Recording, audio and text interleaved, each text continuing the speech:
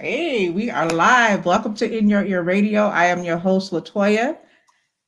How do you like this designer face mask? This is just a reminder to you all who go out in public and you have to mask it up that you don't really have to wear a boring mask, put on a designer mask and look real sexy. Um, you can buy this mask at Beige Lifestyle. If you go to Instagram, they got different colors, nice styles small black business on the heels of Black History Month. I definitely want to represent for black businesses. You know, if your lipstick smudges a little, you can also just, you know, touch it up a little bit. Um, I have a lipstick by Precisely Me, which is a another small business with 10-year-old girl, Alexa Junae, who is making lipsticks and polishes. And um, she named them herself and they're coming out soon. So I just want to let you guys know about some small businesses. But I'm also super duper, super, super excited today because we have a very, very special guest. And I'm just so happy to have her. Excuse me. I'm so happy to have her today. And I'm just so grateful that she took the time to be with us today. So before I bring her on, for those who may not know who she is, and thank you all that are watching on Facebook. I see you guys coming in and on YouTube, which just reminded me that I need to share the video. So let me do that first before I forget. And then um, we'll go ahead and um, start up. So remember, you guys, if you have any questions for Dawn, you can put them in the chat. She definitely wants to hear from you all and answer any questions you may have. Okay, I'm hitting the share button now. Share group. Done. Okay, all right. Okay, so today we have Miss Dawn Robinson. For those of you who may not know, she is an American singer, songwriter, model, and actress. She is best known as a founding member of the R&B group En Vogue, one of the world's best-selling girl groups of all time. Dawn's vocal range spans two octaves and five notes. She is a dynamic lyric soprano. As a member of En Vogue, Dawn was often credited for harmonizing the highest parts of their songs.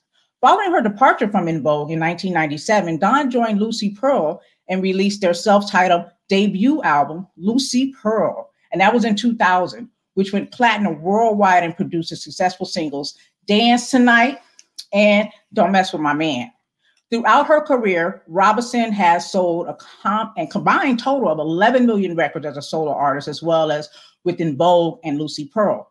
Her work has earned her several awards and nominations, including seven Grammy nominations, seven MTV Music Awards, three Soul Train Music Awards, and two American Music Awards. In 2002, Dawn released her first solo album, self titled Dawn, which produced the single Envious. In 2005, Robinson joined En Vogue for a tour. She rejoined them for a tour, but departed from the group before they could re- record another album in 2009. Robinson briefly returned to En Vogue again for the 20th anniversary tour in 2010. She then left En Vogue once again due to poor management and compensation of work. And she is here today to tell her truth about her very intriguing life as an actress, singer, and songwriter. Welcome, Dawn Cherise Robinson. oh my goodness. Wow, Latoya. Thank you. Hey. Oh, oh all that history. Listen, you are an accomplished woman, and I am so happy to be in your presence today. I oh, just want thank you, Latoya. I just want to just, you know, off top, I just want to just thank you for the spirit and your energy for even taking the time to to be on a platform like this one. This isn't some big, huge platform on It Uh, doesn't matter. It doesn't matter. Right. I you know, understand. millions Right. of followers. Right. but You know, my people love you too. And I respect that you respect your fans on, on all platforms. So I just Exactly. I Thank you so, and I appreciate you. I have to give it right back to you because I've been telling everybody that I do these interviews with, probably 80 interviews or more now by now. I appreciate you guys because you have an audience. It doesn't matter if it's 10 people or 100 people or 1,000 or 10,000. It doesn't matter. I'm grateful to be in front of all the people and get to talk to them and tell my story. Just to reconnect to the fans, it's really beautiful to do Yes. that. So I'm Yes. appreciating you as well. Thank and you. I also appreciate the fact that you just gave a lot of the local businesses here in Vegas because I didn't know you were in Vegas. yes. Um, you're giving them love, and those small businesses, no matter what color they are, they still need that love because right now, Yes. stupid COVID is shutting everybody down. I, I don't understand that. It's like you can you can go to Walmart or Walgreens or Costco or uh, in Wal Walmart, like I said, but you got to shut down these little small businesses that need love too. They need more support. They don't have the billion dollar industry behind them. So I appreciate you doing that. It's very sweet of you. Thank Really you. I mean, listen, and there's quality product in these small businesses as well. So again, that's what I mean. two-year-old girl making her own lipstick and 10 polish. years old. So she inspired me. Yes. And the lipstick is bomb. It's beautiful on you. Yeah, so I'm, I'm just excited for her and also Vegas because these the masks I love them because they're cute and I like to get cute when I go out. I, the- My worst Exactly. part about this whole COVIDing is these masks. I don't like going out in these masks. No, you know. not at all. And and I keep telling people to make sure that they breathe. I leave my nose exposed. I'm not about to breathe my Yeah. own uh, waste because you're breathing carbon monoxide is supposed to be out. Once we breathe in clean air, we breathe out waste. And when we wear masks, we're keeping that all locked inside. And I'm just like, I'm not doing that. They're trying. That's a that's a pandemic to me. So Yes, it's a beautiful mask, though. It's really pretty. Very lace, and it was cute. Yeah. Yeah. I like that a lot. Let me just straighten out though. You said um that I, I came back to the group in 2005, was it? Uh-huh. No, I came I- back to the group in 2009 and 10. So we toured that whole year. Okay. 2009 Oh, to 2010 for the 2010 um the year 2010 was our 20 year anniversary.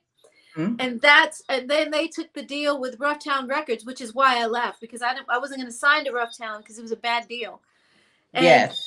about a month after they signed that deal, because they were pissed at me that I didn't sign, Maxine was like, I don't understand. Terry, Terry was like, You have to explain to me why you don't want to sign this deal. And I said, Well, first of all, this is not 1990 or 1989 when we were kids.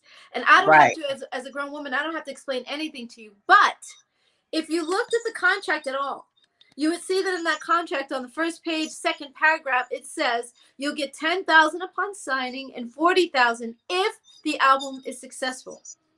You're not going to get 50,000 up front altogether. It's not happening. It's a small label. It's an independent label. Rufftown was not a major. It was not uh, you know, Capitol Records or RCA or MCA or Motown. This is a small label and you think this man has a hundred uh $200,000 to give us?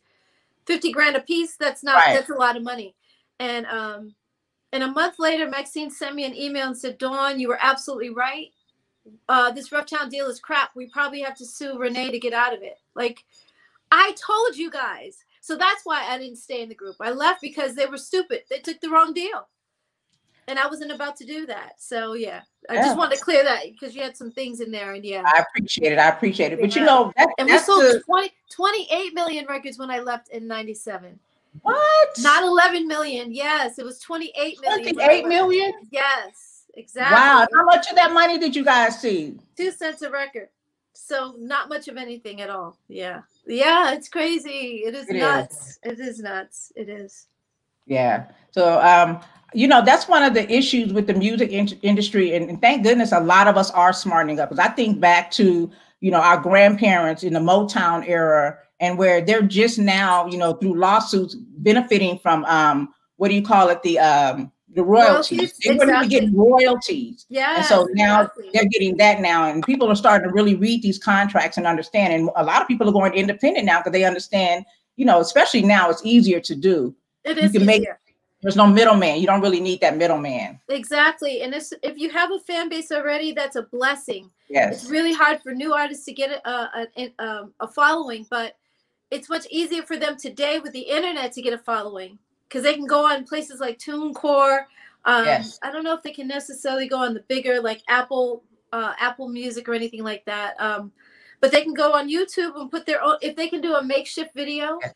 Even if they put just audio, you still can get an audience. You can build an audience that way. You know what I mean? You don't. Yes. And, and social media helps a lot. Yes. Come on, I'm so happy for these young artists coming up now. Yes. Um, and people that missed the boat or they didn't get a deal because the majors didn't think they were good enough. It's like fuck you. Now I can go. Excuse me. I, I have a potty. No, mouth, it's okay. Listen. It's so I hard for them. Yeah, it was really difficult for them to get a deal because the record company listens to two seconds of a song and says, "Oh no, that's not good enough." Yeah. and they were really talented or they just had a dream to do the music and nobody gave them a chance so now they have direct access to a fan base that they can build on their own yes on yes the internet you know the internet is good and bad it's it's got this it's got some sick people on there doing stuff with children that should not happen but it's Yes. also a, a great venue for people with music or any product that they want to sell you know Yes, it's a, definitely a great resource. I, I Yeah. I'm definitely happy to be able to have access to it, and it doesn't cost too, much. happy Yes, yes. Thank you so much. I'm just, you know, I, I think about everything that you've experienced in your career, and I just want to go into everything, but I want to start from the beginning.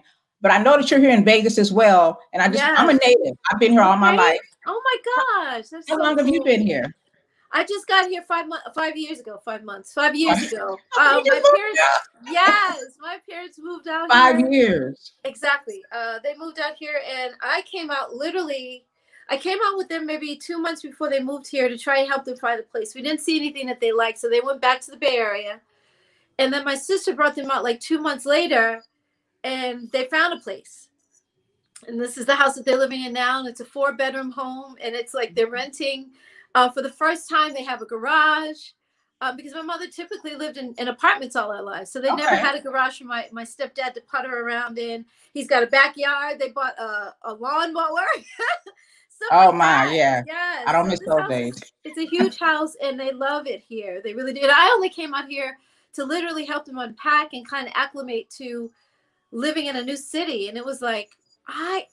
So typically, what En Vogue does is we would fly into Vegas the night before. We go to the uh, to the casino, get in our rooms. The next day we would do sound check, do the show. The following day we would fly out. We would never actually see Summerlin and Henderson and Yes. all these different places. I didn't think people raised kids here. I thought Most was- people don't think that. exactly. I really thought it was about nightlife and party, party, party. I mean, this Mhm. is the number one capital of the world. Like it's not Paris or New York or Chicago. It is or Los Angeles even. It's it's Vegas. Yes. So I just Vegas. thought all this partying here, nobody can raise kids here. You know what I mean? I was just thinking, and Right. once I saw the city, I was like, what? I could live here. So I moved all my stuff here, got an apartment, and then I did a play, and I gave my apartment up because it didn't make sense to be on the road for five months and then have a place. So, Yeah. um, and then I moved back in with my parents, and back and forth. I've gotten a place, come back, and then back and forth. So it's nice being here, but I'm getting ready to get my own place again, and I'm actually Yeah. buying a home here. Okay. Well, I have to ask you, Welcome. Latoya. yes. How? How do you deal with the water? How do I deal with what? The water. The water here is so hard. Well, yeah, I don't drink it, and you have to have a water softener if you don't want your plumbing fixtures to be all damaged Oh and build God, calcium. exactly. Yes. Yes. So I figure Yeah. if they're tearing up the, the plumbing, so in the sink you have that little ring hmm around the sink and, and the little Oh, metal yeah. ring in there, and then you have one in the tub as well. It has eaten through a couple of them, and my parents Oh, have to yeah. call the landlord and get it replaced. When I Yeah. had my apartment, I did the same thing. I was like, Yeah. It was tearing up my sponges. When you clean the tub, Mhm. it was I was like, whoa, if it's doing that to the plumbing, then what is it doing to our inside? So I don't give it to my don't, I, don't, I don't drink that stuff. I get bottled water. Listen, yeah, bottled water for sure. You gotta a have water, a water softener. softener though. Yeah, Because our skin is the biggest organ on our body. yes. So it's going right through your skin into your system. And I'm like, oh no. right. yeah, It'll so- dry your skin out. And you Yeah. look beautiful. I know you're not shy about saying how old you are. I want to say you're you. 54, 55. right? No, 55. 55. Congratulations. Thank you so much. Yes. Listen, you you don't look nowhere near 40. Thank You're you. 55, okay? Yes. I mean, you look so great. How are you keeping yourself Wow. looking so young and youthful and, and fit? What what are you doing? It's What's the really a big part of it. Everybody's like, no, that can't be true. But a big part of it is me literally saying, I am young. My dad, it's also in the genes, of course. My dad, I Yeah. used, used to tell him, Dad, uh, are you my son and I'm your mother? Because you look so young, like you're younger than me. He, but he had a young spirit. He was very funny. He loved to laugh. He would ride Yeah. his bike 22 miles from Long Beach into the Hollywood area. He would live, and I. I'm not talking about like, oh, do, do, do, I'm just riding my bike as a leisure. No, he was like 22 miles an hour. Wow. Yeah, he Wow. was moving, moving 22 miles an hour. Like he was keeping up with cars on the road. Like seriously. So he was very fit, and he would also he would play uh, video games with my nephews if he was around them, his grandsons. Um, he just had a young spirit about him and he was always happy, friendly with everybody. My dad was that. He kept music yeah. in his life too. So I think when you tell yourself you're young, also, of course, uh, I use serums. So I love serum. going. Yeah, Marshalls has all these serums. oh yeah, they do. I stand there for hours, Latoya, hours, and I'm reading and I'm looking and I'm reading. And I'm like, nope, I don't want that one. I'm reading again. I'm, so vitamin C serums on the face. Um, okay. Uh, retinol. I know that there's a retinol vitamin C mixture. Like they have so many hydro. Uh, hydroquinone. neck and the face, huh? Exactly. Yeah, the neck as well. Uh, hydroquinone or hydro it's something hydra something yes. and it's in a serum with vitamin c as well. Vitamin c is amazing for the skin. Yeah really amazing. And vi- i thought um, it was vitamin e so it's vitamin c that's uh, vitamin e is great, great. too but yeah. vitamin c will clear up all those marks and any kind of marks you have dark circles on your mm-hmm. eyes. Um next time i'm on another show i'll bring the uh the the vials that i use but okay. the serums go a long way. You put one on at night that's totally different than the one that you use during the day. Okay and they really do work. Great. Oh my, Beautiful. thank you. You do too, though. Come on.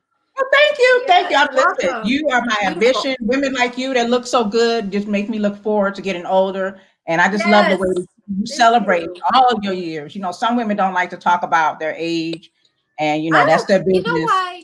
Let me just go into that a little bit. I think they do that because society makes us feel like getting older is a problem. I agree. And that if you don't look like you're 20 anymore, that there is a problem. And it's like, wait a minute, nobody's going to look 20 forever. Right. Um, but it's your attitude, like I said, and it's also what you eat. I know that a lot of the stuff we eat is toxic. Dr. Sebi went into that before he passed away, and thank God yeah. there's so many videos on him talking about food is electric. It's alive. If you eat dead food, you're gonna look dead. You're gonna feel dead. You're not gonna have mental clarity and all that stuff. People that get uh, Alzheimer's and all that stuff, um, uh, dementia and Alzheimer's and all that. Oh you know, yeah. You're oh, pretty oh, much yeah. if you're eating a dead animal, what do you think you're gonna get out of that? So being here with my parents, I, I was a vegan before I moved back in with my parents. Um, and my roommates were like all vegan, so it was really easy for the household. I mean, and they would make I miss it so much, and I tell them all the time, "You guys, I'm coming over because I miss that." Um, but they would make one of the girls would make a fettuccine alfredo. She would literally use cashews, like unsalted, uh, not raw, but roasted cashews. She would soak them overnight in water. She would um, mash them up in like one of those blenders. What do you call those? Uh, uh, Cuisinart, I think it was. Okay. And so it would make a paste. Like she would add uh, cashew milk to it. She would add uh, garlic, all kinds of stuff to make the to make the sauce. Okay. And it would look just. My parents came over one night and they they made dinner for them, and I said, "Please, you guys, please, please, please, make that fettuccine alfredo for my parents." She would she would also use instead of using regular egg noodles, she would use um, either spinach noodles or edamame noodle. No, that was the green ones. I use a spaghetti squash. Spaghetti squash. She would do that too that. sometimes, but I didn't yeah. like the texture in the fettuccine because that fettuccine sauce is really thick. Okay. But I do use that. I like that too, but for yeah. different sauce. Yeah, okay. like, yeah, thinner sauce. Um, and uh, yeah, she would make that, and we would. My parents. I didn't even tell them at first. I just had. I made their plates for them, and I sat down and I was looking at them. She put um I would make the mushrooms because I like my mushrooms to have a little more flavor. So I would saute the mushrooms and I would put garlic uh, powder, garlic mm-hmm. salt, uh, a little bit. I'm sorry, sea salt, garlic, garlic powder, um, and just make that a, a, a flavorful sauce. And make the mushrooms really flavorful, and then put that uh, in the um, in the in the sauce and then put yeah. that on the plate. It was amazing. Like like you just you why eat animals if you can eat vegan and still have the same flavors. I think texture and flavor is hard for yeah. people to leave meat. Right. You know what I mean? And so they're like, oh my God, yeah, I have to have real cheese. And I got to have like that cheese is tearing up your insides, though. You're not understanding because they stress the cows out so much. I don't want to get in, uh, into all this vegan stuff, but I think part of that, part of that is our health, you know, looking how you look. Yes. You know what I mean? Really determines yeah. I agree. You know, I think the hardest part would be, you know, transitioning to vegan is having Are you vegan? No, I'm um I haven't eaten pork. Um, yeah, well, I haven't eaten pork or beef in over almost 30 years. Me either. It's so, a long time for both. I'm good with that. I, I, was not a big meat eater before that anyway, so it wasn't hard yeah. to let those go. Um, yeah. My stepdad makes chicken and sometimes eggs, and I'm just like, I, the other day I saw an older black man. I'm sorry, I know you were talking. I will get back to that. Oh, yeah, he said this, Latoya. He said, he, he was from the island. You could tell a very strong accent. He said, it's very difficult when you eat an animal that is stressed out, first it has the adrenaline of being killed before they kill it, right? Mm-hmm. So it goes into fight or flight. It's scared because you're anybody that's getting ready to get killed knows the the your heart palpitations and all that stuff that happens. Yeah. And then all that adrenaline spills out into the meat, and then they sell it in the store and we eat it.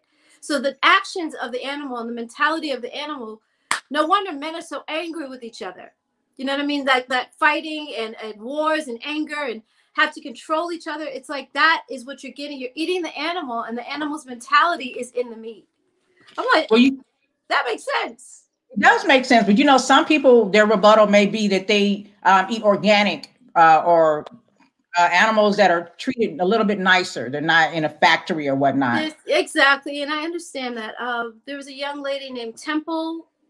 I forgot her last name. I always forget that. She was literally autistic. She is autistic. She's still alive she was autistic, but she said she didn't like the way animals were being treated when they were slaughtered. There's got to be another way. So she came up with a, ver- a better way to not stress the animal out before it dies. It doesn't even know that it's been cut around the neck because it mm-hmm. goes into a water system and it's floating around in the water. And then this thing kind of slowly, and it's like, but you're still dying.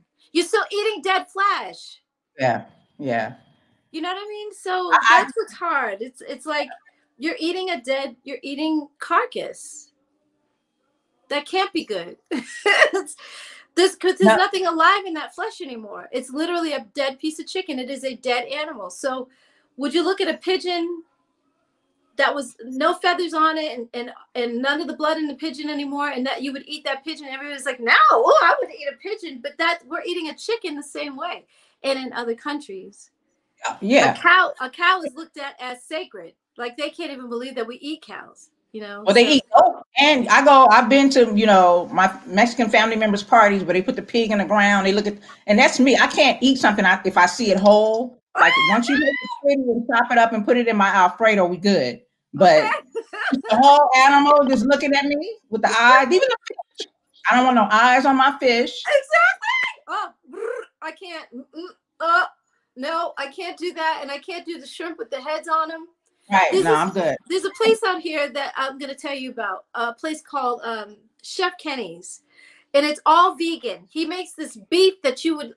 It. it I here look at Vegas? it like you guys. I'm sorry. It has to be beef. It tastes just. It looks just like beef. I think again, for people to go vegan, it's for them. It's texture. It's color. It has to look like chicken. It has to taste yeah, like beef.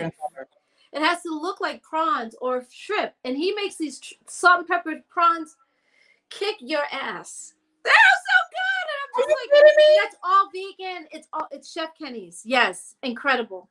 It's it's it's incredible. Oh. It's on Flamingo and Rainbow. Yeah. Okay, I got to make a note of that. I definitely have to check that out. He comes around to your table. The owner of the place, Chef Kenny, comes around to your table just to talk to people. And one time he talked to us about coming back from Vietnam where they were making this uh, vegan. He, he brings back ideas all the time about vegan food and stuff that he finds in other countries that he thinks, oh my gosh, I got to try that in the restaurant. So he has these beef rolls. It looks like filet mignon. I'm sorry, it is filet mignon, but it is vegan. Really? Kick See, your butt.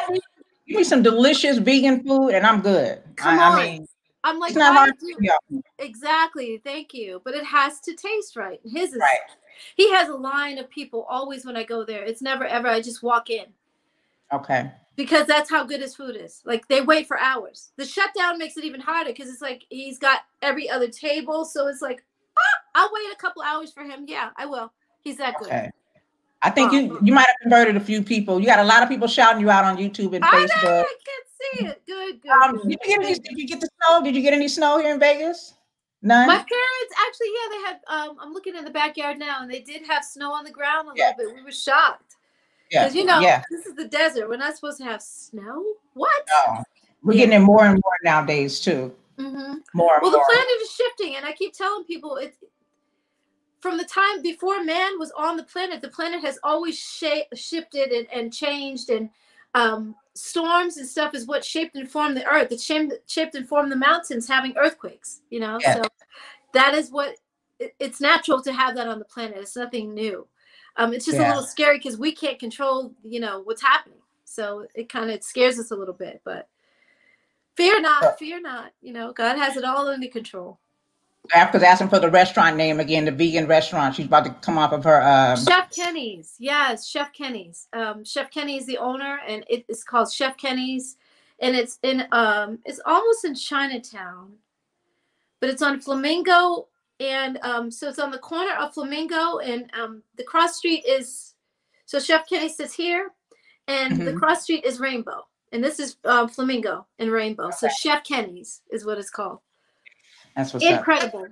incredible. Um, it's mostly sushi and Chinese food.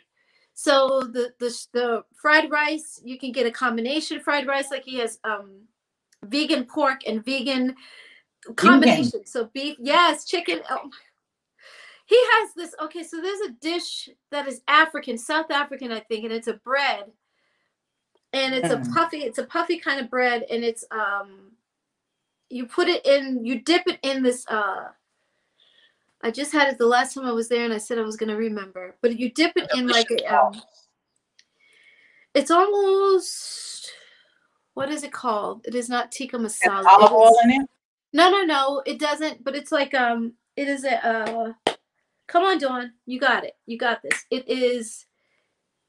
I'm trying to think of what it could be. Curry. Is it a wine? It's a yellow curry, a yellow curry. Oh, curry. I like curry. It's got potatoes in there and curry and the sauce. So you dip it, and so in in Africa, you sometimes in certain parts of Africa, you eat with your hands. Yeah. And you break this bread, and the bread is so it comes warm to the table and it's puffy, and by the time you open it up, it flattens out because it's puffy when you get it, and then you open it, and it. Yeah. When I tell you, oh geez, I'm going there tomorrow. I'm going. You must be hungry. You must be hungry because you've been talking about food for me. It is so bomb though. It's I appreciate so it. Oh my god. I want to. I definitely want. I want to dig into your life and career. I think it's so interesting that you started singing at the age of two, and you would sing like Beatles songs, like Michelle yes, Mabel. Exactly. Like, Isn't that crazy? My dad um, was a Beatles head. Like he's just when I when I talk to him for his birthday or I send him a message, um, and I say, "Hey, Dad."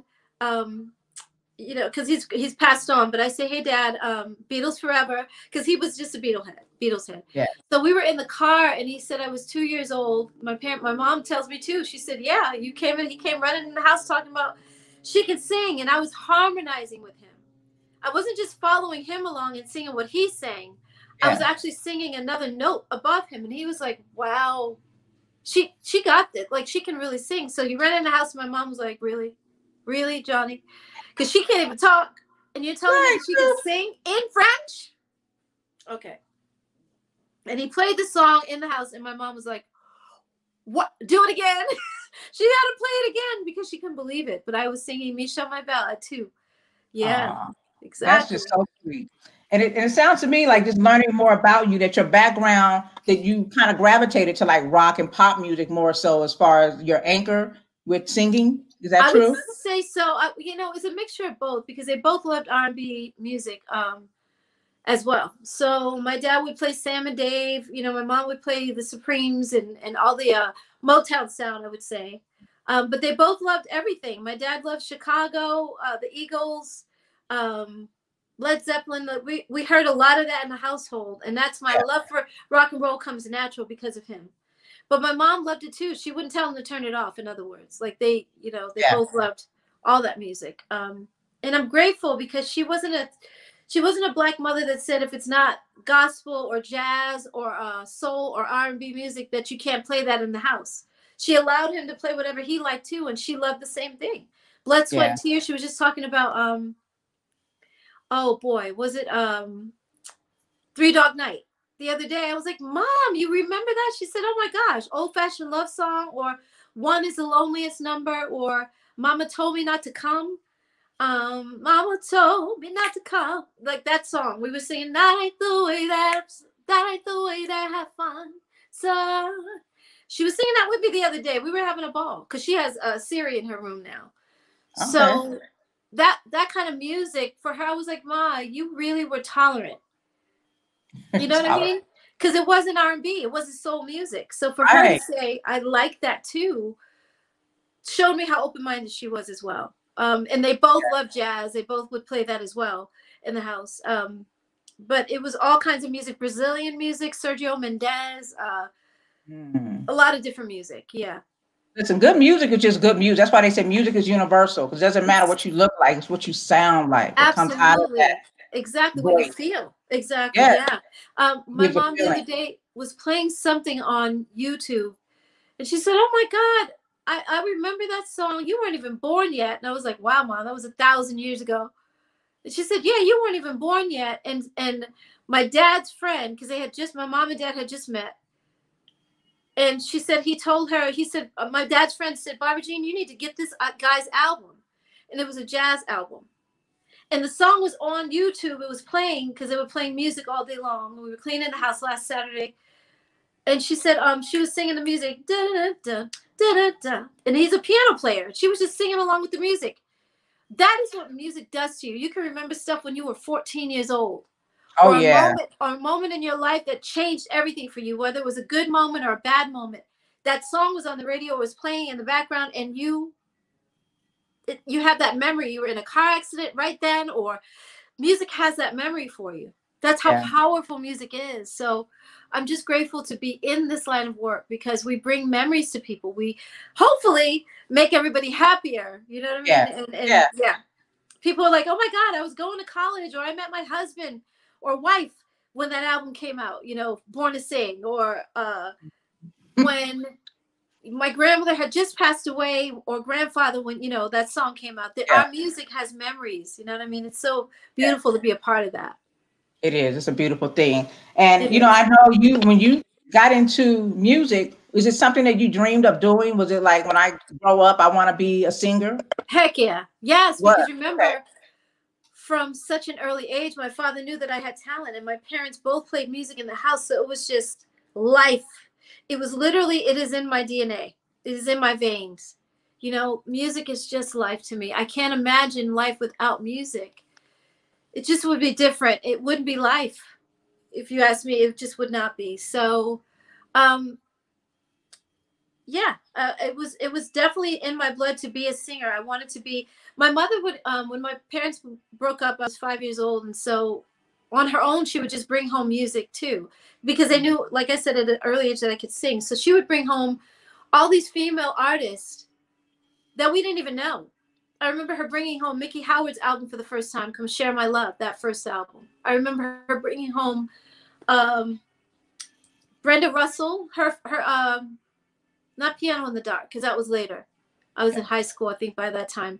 But I think uh, it was um, In the Thick of It is the name of that album. So she brought home all this music, and I'm like, who is this, Ma? I don't know. Just play it. And we would learn, I would learn those songs and sing along with those artists. So, um, yeah, th- th- it was it was definitely in my blood to be a singer. I, I loved it from an early yeah. age. Yeah just moving into their singing career. Um, so your first professional um, debut was with En Vogue, right? Right, exactly. You had the audition yeah. for this girl group that was coming up. Was it the Anita Baker? You sang Anita Baker. Was that the first song you did for your audition? I did. Well, for the audition, we had a different song. We had "Waiting on You," which ended up okay, on the record. Um, but for my personal audition, so I was at a concert with my friend Kim, and uh, we were every year we would have the worst seats because my mother would buy my ticket and her mother would buy her ticket. But this year, okay. Since we were out of school, out of high school, two years out of high school, we bought our own tickets. Um, and we bought the better tickets because it was VIP. Right. We wanted to be in the VIP area. so thanks, mom, but no, I'm, I'm doing it different this year. So we were both in the VIP area with our friends, um, Lawrence and Michael. And they weren't our boyfriends or anything. We weren't dating them, but we were like, okay, let's go go to the restroom, which was uh, code for let's go check out guys, really. Yeah. And, yeah. Um, when we got to the top of our section, this guy said, Excuse me. And we both turned around and he said, Are you a model? And I was like, Whatever. Oh, cheese line, huh? I, I totally, yeah, I played him off. I just ignored him. I was so rude, so extremely rude. And then when we came back, we had popcorn and a drink. And we came back. She had a drink. I had popcorn. When we came back, we were facing him now because before he was behind us. So when we came up the stairs, we were supposed to turn that way, and he was behind us. So now I'm looking right at him, and he's like, "Excuse me, I'm the guy." There's a bunch of people walking back and forth and crossing us, and he was like, "I'm the guy who just asked you if you could sing," and I was like, "I am not a singer. I'm sorry, I'm not a model." and he said, um, "Well, can you sing? Are you a singer? Can you sing it all?" And I said, "Uh, yes, yes, yes. Oh my god!" And I stood there and talked with him. We both stood there for a while, and then Kim was like, "Um, popcorn. The next act is, is coming on Right. stage, and I think it was Stevie B or Cover Girls, one or the other." And Okay. um, and she went and sat back down in the seat. And she took the drink and everything with her uh, to go sit down. And I stood there and I talked with him almost an hour. All my friends are having an audition. Th- Their names are this. They're doing this. They were in this group called Timex Social Club and um, Yeah. uh, Club Nouveau. You know, Club Nouveau, yeah. Exactly. Situation number nine, uh, jealousy and all that. I was like, oh my Yeah. god, you know, these guys. I can't sing, but in my head, I'm singing while you're saying all this. Situation number nine, blowing my mind. I don't, I don't know the song. That's either. it. That's it. Situation number nine. Jealousy, don't want the bad stuff around. That's right. Yeah, exactly. right. I don't remember. Right. um, but yeah, or lean on me when you're not strong. I'll be your friend. Yeah, they did that. Beautiful. Um, beautiful song. Exact. Well, that was Bill Withers first, but yeah, Mhm. Denny and Tommy redid it. Um, so I was like, oh my god, you know, these guys are like the the truth. Like, wow. And he said, yeah, so you can come to my house and I can hear you sing. So I can hear you sing. I want to know if you actually have talent. And I was like, no, I will not. I am not coming to your house. I don't know you. You are not going to get me to come to your uh, excuse me no and two days later he came to my parents house because at that time i was still living at home um it's like a repeat of that now because i'm still living with, with them but um yeah so he came there and he was like oh my god i sang anita baker i sang uh been so long Yeah, that's my song. oh my Been so- god oh my gosh exactly Yes. New baby. and i had that low That's what amazes me how you can do your voice low, you go low, but then you go Oh high. God. It's like effortless. Like it I had to thank you so much. I had to though, because she she goes, she's very low at first, and then she Mhm. comes up, and the second verse she's a little bit higher. Um, and then he was like, "Oh my God, yeah, you got it." And then I did been uh, that was been so long, and then I did uh, Rapture, just to prove it, just to hit it home that I got it. yeah, he was like, yeah.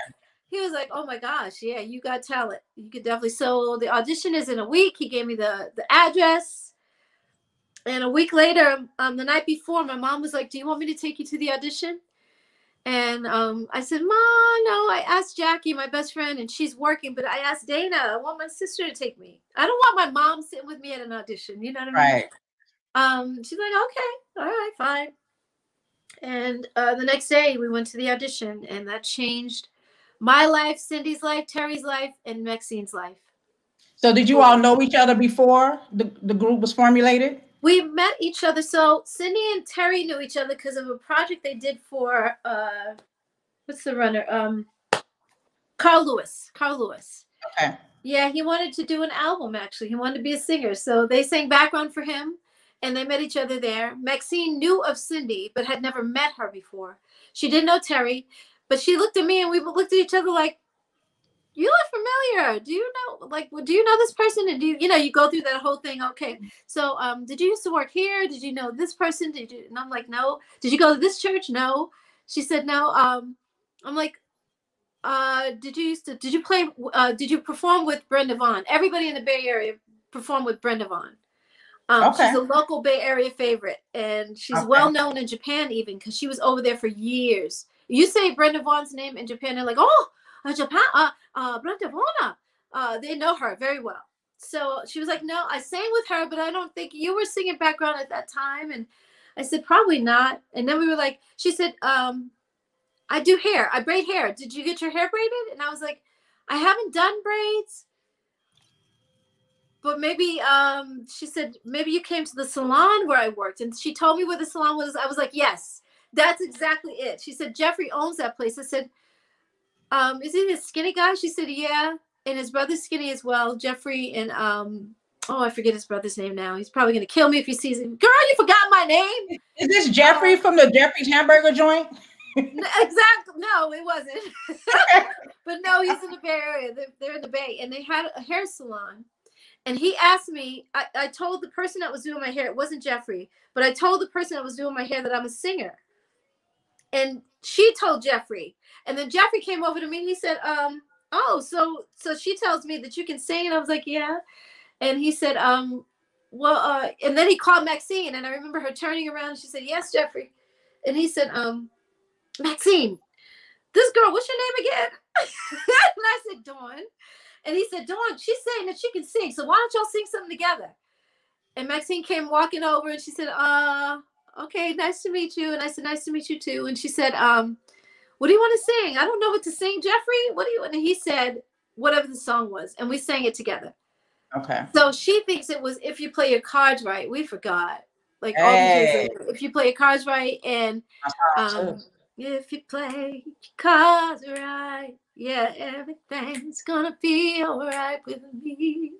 So we yeah. sing, we either sing that or um, "Don't Let It Go to Your Head Now" oh, by Jean Carn. Yeah, don't let it go to your head. No, no, no, no. Yes.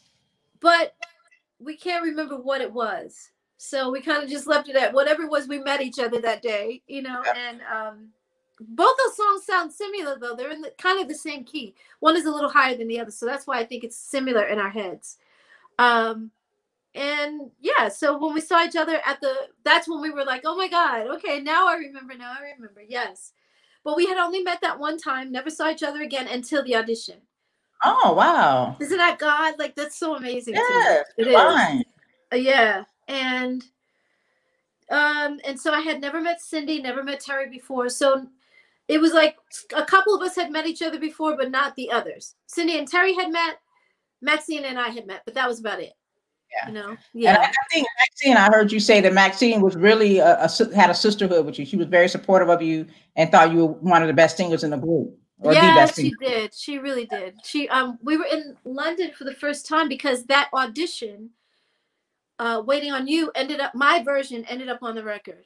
And so everybody um cindy was like i'm sorry terry we were in her room because we were waiting for the hotel to change rooms with her because she didn't want to be across from our manager.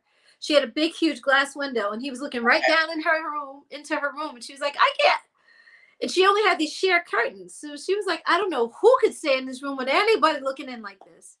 But we were sitting around waiting and um Maxine was like, "Well, Dawn, you know that you have the best voice. You're the best singer in the group, or something like that." And and Terry was like, "I don't think so. Excuse me." Very indignant. Very indignant. Yeah, and I immediately went into playing small. You know how you got to play small to make other people feel big, and I was like, "No," and I and I really meant this, but the way I did it, I would have done it different today.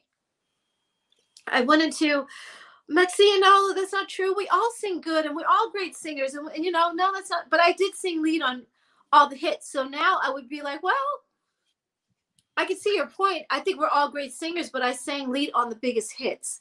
So yes. it was it wasn't that way at first though. So Maxine, I think, said that because my audition was chosen. You never hear of someone doing an audition and then that very audition for a movie or for an album ends up on the record or in the movie. That's amazing. Yeah so i'm proud of that and i i always played small because i'm the youngest one in the group and i felt like i had to um, after that moment happened with her saying you're the best singer in the group i always played like no no no i'm not good enough i'm not this enough i'm not that enough and i kind of shrunk down and i'm like no today this dawn now i don't do that no more not gonna be able to do it. No, no, no, not at all. Because I know yeah. what I bring to the table and I'm proud of that. And I don't ever shrink down. That is amazing to have your audition chosen for yeah. anything. Yeah. I mean, you didn't shrink down and En Vogue at all. I think that's probably why the group ended up parting ways, or you ended up leaving. So, is it true that they asked you to leave, or did you just walk away because of the poor? No, the former. The former was true. They asked me to leave because it's hard to get to the story without telling the the forefront of it, um, the backstory of it, I should say. But we were at the point where I'm gonna try to say this different, so I'm not repeating my. I have to repeat myself. Part of the story is, is what it is, so yeah. it's hard. But we were, well, we were four. We were on our fourth album, about to start our fourth album. We had done our first album under a certain amount of terms, which was fine. That was our first album. Nobody knew who we were. Yeah. So we had to prove ourselves to the world, to our record company, to um, you know, everybody out there. So the first album, you're getting two pennies a record, you know, okay. But we got a ten thousand dollar advance, and it's like, oh my god! For the first time, I've never had money like that in my life. Even five thousand and five thousand, because we got five thousand upon signing, and the other five thousand you get when the album is finished. So okay, oh my god, I, have never had ten thousand dollars in one sitting, five thousand at a time. I've never in my life. So wow, I'm a star we're stars. So I was not questioning anything. Um, the record company is not going to put a lot of money into a new artist at first because they want you to prove yourself to them before they say, okay, well, you're a viable artist. Yeah. You have a following, you have a fan base. So now we're going to put money into you.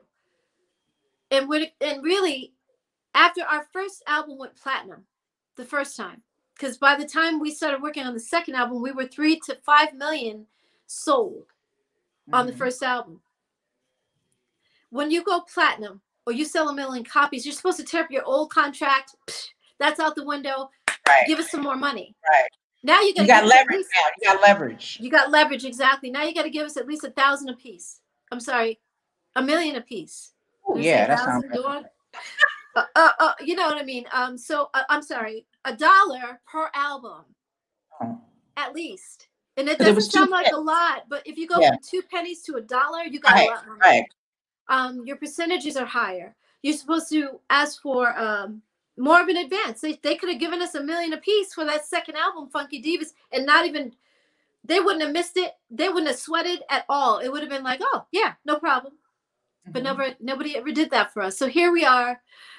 we did Funky. So Born to Sing, Funky Divas, Runaway Love album, which was one new single, Runaway Love, but it was remixed for all the other songs that we had. So yeah. remix for Hold On, Never Gonna Get It, blah blah blah. Then you got we did uh, um we did Don't Let Go. We did What a Man with Salt-N-Pepa. Like we're doing all this stuff yeah. and we're still not getting paid, y'all. So here we are, and I kept getting Maxine. We would get on the phone and we would have these powwows like Max, we got to get more money. We deserve this. When Dawn, you're absolutely right because Denny and Tommy that and once I went to Denny's, um, what do you call it? His uh mansion. Okay. That's when it was like ding, ding, ding. The bells and whistles, the sirens are going. I'm like, what the? Fu- we bought this for you, and when he yeah. said, "It's a lucrative business," say, huh? Lucrative, I, you see. Heck yeah! When he said he made the mistake of telling us how much this damn mansion, you're bragging.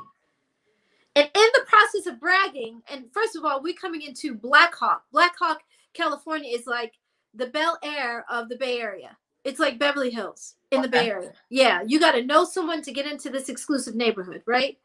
So once we're driving through the neighborhood, I'm looking around like, what the hell? Like, oh my God, Denny's living like this? Like, what? He walks us through his mansion. He's got 11 bedrooms or and nine bathrooms or nine bathrooms and seven bedrooms, something a lot. Yeah. Okay. And he said, 20, oh, 20 million dollars. Yeah, this is my, you know, and I'm like, what? And my big mouth said, Wow, so this is what our money bought you.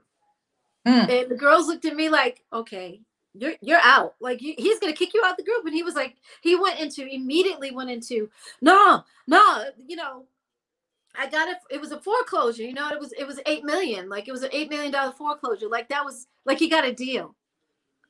Dude, don't don't you never tell people that are not doing as well as you. But the reason that you got this mansion in the first place is because of us, and you're going to tell me that you got an eight million dollar mansion. Hmm. I can't afford eight hundred thousand dollar home, let alone an eight million dollar mansion. Please don't say that. Don't tell anybody else that. That is not a deal. That's still a lot of freaking money, dude. Are you kidding me? So that's when I started waking up more and more. And Maxine and I would have all these conversations, and then I call her the next day, and she's like, "Well, I talked to Denny last night." and I'm like, "What, Maxine? Please, why do you keep doing that? You know, you." You called it because she's like because i don't know if this is the right thing for us to do. I'm like i understand. We're all afraid because we we had never been in that predicament before. Well we had to renegotiate for anything. We didn't even know the term renegotiate because we right. had never yeah. done it. Yeah. This was our first uh, on the first album we had never renegotiated. And after you you're around people you're on the road you come back you learn stuff from people you're having conversations with people our first tour, our first major tour, because we did a, a promo tour. excuse me, and we just did club dates all over the place, all over, all overseas, Germany. We came back, and then MC Hammer wanted us to go on the road. Now we're talking to MC Hammer. Cindy was having conversations with him. Um, he's like, "You guys are the biggest things on the radio." And you mean to tell me that you guys are making two pennies a record? Like there's something wrong with this picture. So I'm gonna have you go to my attorney and I'm going to pay for you guys to sit with him all day. And you ask him whatever questions you want. Bring your contracts, you know, and ask him what is wrong with this picture. What's wrong? What happened? And that's again, that was my wake up call. Stuff started, you know, after a while, you start waking up to life. It's just like anything, you're learning as you go along. And then, and so once we were learning, like, wait a minute. So our percentage is only this, and we're splitting that same percentage between four girls when Denny and Tommy are splitting that same percentage between two guys. So that was uh, a wake up call for me, and I, that's why I started getting Maxine on the phone. Like, they, you know, that attorney said this, and we we're supposed to do that, and uh, we never renegotiated after our first album. So here we are.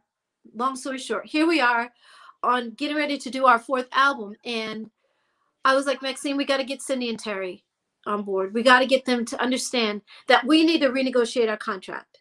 We need more money. Two pennies an out now. We by then we had sold what 18 million records between you know Born to Sing, Funky Divas, Runaway Love, Don't Let Fucking Go. I have to say it like that because all this money is being made, yeah. but not for us. We're not making the money. So um we got them on the phone and finally we got a, like a powwow with just the four of us. We mm-hmm. are not going in the studio until the record company renegotiates renegotiates with us for more money. We're not going in. We're not doing yeah. anything until denny and tommy pay us more money. And we were all in agreement cindy terry everybody's fine we're good cindy maxine we're all good. We all agree the four of us okay cool. Yeah. next thing we know maxine calls me and says dawn you're not going to believe this Terry is in the studio. What? Yes. And she's recording. Are you kidding me? So we call we got Cindy on the phone and we called Terry's ass right then on the spot. Terry, what are you doing? Why are you in the studio? Oh, well, you know, um, I don't agree with you guys and what you want to do. To me, it's going against Denny and Tommy, and I don't agree with that. I'm like, Terry, it's not against Denny and Tommy, it's for us. Right. And Tommy do what they need to do for themselves as producers. They they protect each other as partners. We're mm-hmm. supposed to do the same for the four of us. We're supposed yes. we're all we have. Nobody's going to protect us like us. Well, I don't agree with you guys. Um, so I'm just gonna stay in the studio, and you guys just just make decisions without me. What? Okay. Wow. Yeah, we can't do that, Terry, because the record company is gonna be like, um, so we signed the four of you. Where's Terry? And, and they knew where Terry was because they're the ones who gave her the deal. Mm-hmm. So they knew that we were going to renegotiate our contract. They knew that in order for us to stop them from renegotiating, we have to get one of them out of the loop. So we're going to talk to Terry first and get her to do a solo album. So that means that it's okay. divide and conquer. We got yeah. those three over here, and Terry. Let me yeah. see. I'm doing this right. Terry over here by herself. You know what I mean? And so they knew that by doing that, we had no power. We had no leverage, like you said a little while ago. So we're like, Terry, we can't move without you, but okay. You know, you're already signed, you already have your deal. um, so we had to wait. Seven months later, she's getting ready to go on tour. We supported her tour support, uh, her tour. Um, we went to her first show at the Pantages in Los Angeles, we uh we what else did we do? Oh, she had two singles. She had Okay. um she had remember. I do remember one song. Wherever You Are was her ballad. Wherever You Are, yes. Beautiful, Yeah, beautiful ballad. I cried when I saw the video because I'm like, You're not with us, Terry. Yeah. She was crying in the video too. And um, yeah, and I kind of felt like, oh my gosh. So, and then she had uh, "What Did I Do to You" was the second single, I think. And anyway, she had videos. So, in other words, she had financial support from Sylvia. She had videos. She had tour support. She had, um, you know, everything was backed up for her album. And here we are, just sitting here. So when they came to me, Terry was getting ready to go on the road, and they said, "Dawn, do you want to do a solo album too?" Sylvia called me. Sylvia Rhone from our label, and I was like, "Heck yeah!" Because I'm gonna lose my house if I don't. yeah. So she knew she knew what she was doing. She knew that that was all divide and conquer. Um, and So all the other girls, they they obviously stuck with it, and you were the one who was who said, I, "I'm not gonna be able to do it." right. Well, the problem was they asked me to do a solo album too, and when I started recording, I was like three songs in, Okay. and they pulled Terry off the road. They pulled me out of the studio and said, "We're not going to finish your album right now. Uh, we need a new En Vogue album because that was a lot of revenue if you think about it. Mhm. It had been a few years since we hadn't done anything with them, so uh, uh, it had been a year. I'm sorry. So she was Sylvia was like, "Well, we need that revenue. That's a lot of money that we're not getting without an En Vogue album. So we're going to pull your album right now, and we're going to pull Terry off the road, and we're going to start the next En Vogue album." And I'm like, "No, no, you won't." No, because you took Terry's album very seriously. You gave her videos, you gave her tour support, you did all this to get behind Terry, and you're not getting behind me at all. Mhm. Um, and so I took it personal, and um, I said, so I will stay with En Vogue. I will finish. I will record the album with them, this fourth album. But I want to leave as a solo artist. I want you to revoke my uh, solo rights. So, in other words, I'll stay committed to En Vogue, but I'm going to leave and do my solo thing after the En Vogue album is done. Once we're done with this fourth album and recorded this fourth album, then I'm going to start the process of recording my album. Mhm. And she was like, "Okay, but I want five points for your fir- from your first solo album, four points from your second, three points from your third. Like she was trying to make it as hard as possible for me to leave. Yeah. Um, and I was like, I was undeterred.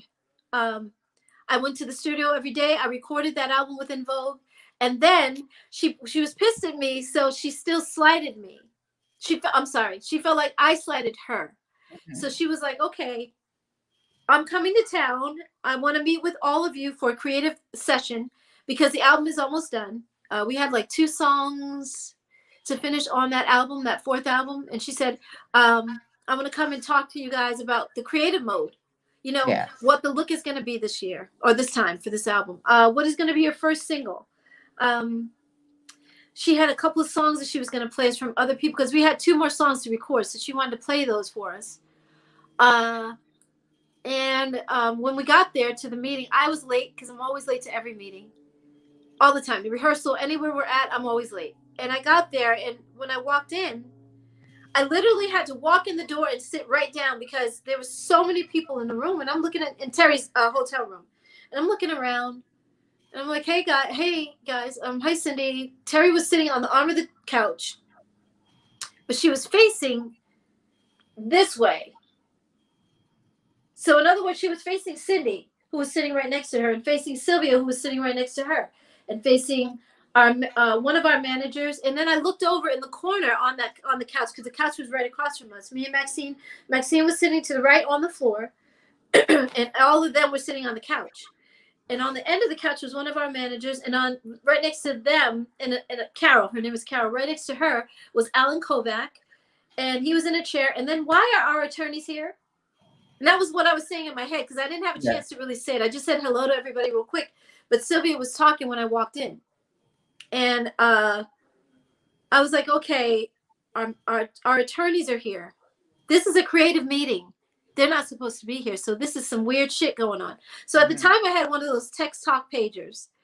And I started paging my boyfriend because we didn't have cell phones yet. You probably weren't even born. Look, that part. I'll, I'll just, that's a good excuse, but no, I'm analog. so- Yeah, I, I, probably couldn't afford it if I was born. Um, so it was everybody had one. Everybody and their mama. My boyfriend had one. Everybody had one. So, um, I was texting saying, "Meet me at our manager's house. At my manager's house. Something is up."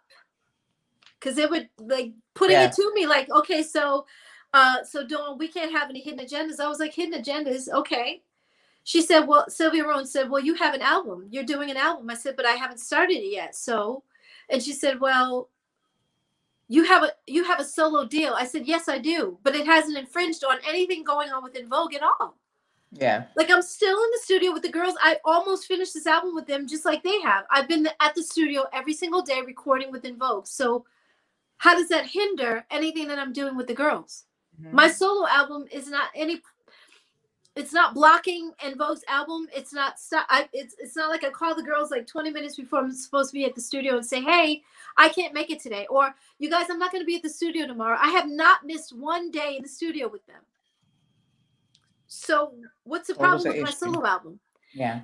She was pissed off because I slighted her. I outsmarted her. When she said she wasn't going to do my album, I was like, "Okay, set me free." As far as my solo rights are concerned, but I stayed in the group as far as the group was concerned. Mm-hmm. I was still with the group, like I said. And yeah. she couldn't think of anything to say to me. She's like, "Well, we can't have any hidden agendas, blah blah blah. So you got to tell us." And and by then she was putting on her coat to leave, because um, she had a flight out that night back to New York. Uh, so you gotta you gotta tell us if you're gonna be in the group or not. And I said, well, if you're asking me, if you guys are asking me, because you're putting me on the spot, I said, it's really funny that Terry did a solo album too. Terry did a solo album. What's different about Terry doing a solo album and me doing a solo album? And Terry turned to me because, like I said, she wasn't facing us. She was facing this way. She was facing Cindy and Sylvia, which was weird. Mm-hmm. You got all these people in the room and you're not going to face us? Like, that was just weird to me. Yeah. So she turned around, she turned and faced me, and she said, It's just different, Dawn. Terry said this. It's just different. It just is. And I was like, no, no, it's not different. What do you mean it just is? That's not different. You you signed and you were signed to this group at the same time I was. You went there first, and now I'm a new member or something like that. I was there at the same day that you came to the audition. In fact, I was there before you because you were late. Yeah. She had bad weather coming in from Houston, so all her flights were canceled, canceled, canceled.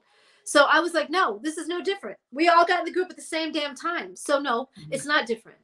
Um, and then uh, Sylvia said, "So you are you going to give us an answer or not?" And I said, "I have to pray on this." I said, "But if you're putting me to the fire like right now and you're, you're asking me on the spot," I said, "I choose me. I've been yeah. in this group for eight years, and we have been broke for eight years, eight wow. fucking years, making two cents a record. I brought it all up right then, and I was like, yeah. wow." I said, "Cindy."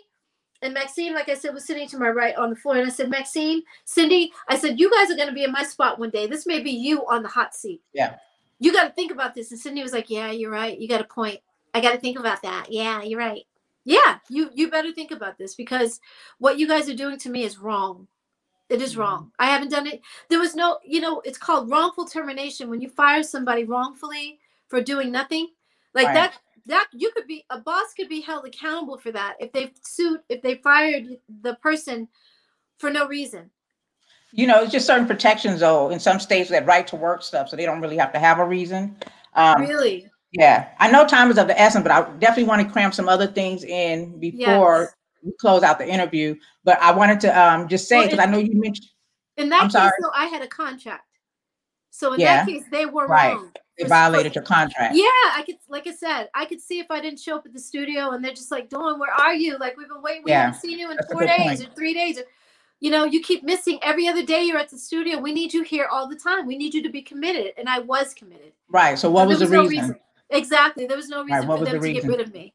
And I know you mentioned the girls didn't have your back, and you were an advocate. You were even speaking up about having benefits like health care and, of exactly. course, having better wages because right. you guys definitely deserved it. As yeah, you know, thank you. Being the face of the, the group, you were the money makers, right? So we're, I appreciate that about you yeah, I appreciate you being an advocate and not Thank being you. scared to speak up and speak out. And sometimes that's, you know, it's a sacrifice. There's a quote that says there's a difference between a moment and a movement is sacrifice. And sometimes mm, you have to wow. make sacrifice to wow. stand up for your rights. So I think that's so important. I know I there are a lot that. of questions in the chat about um, the group. They want to know if you come, you're going to get back with them and um, what's going on with that. But I want to talk about Lucy Pearl too, because that was my favorite collaboration with you, Raphael Saadiq, what was his name? Tyreek, was it?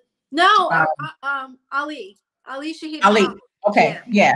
yeah. And you know, most I'm sure a lot of people would agree. You know, one of their favorite songs was "I Want to Dance Tonight." That song is a classic. You can play that yes. anytime and still yes. get it popping, and I just love that. But leaving En Vogue and going into Lucy Pearl, to me, it seemed like for you was a breath of fresh air. What what it happened? Was. What what happened? It was because Lucy Pearl was so free. So it's funny you say that. It's like we should have called it something else because it was just, you know, the process of recording. Um, so uh, they they pushed me out of the group, of course, with En Vogue, and so a year after that was over, I think it was. Let me see. I left the group in '97, so I had a few years actually between. Mm-hmm that and Lucy Pearl. Lucy Pearl was uh, 99, 2000. It was only one year, one deal, one album. Yeah.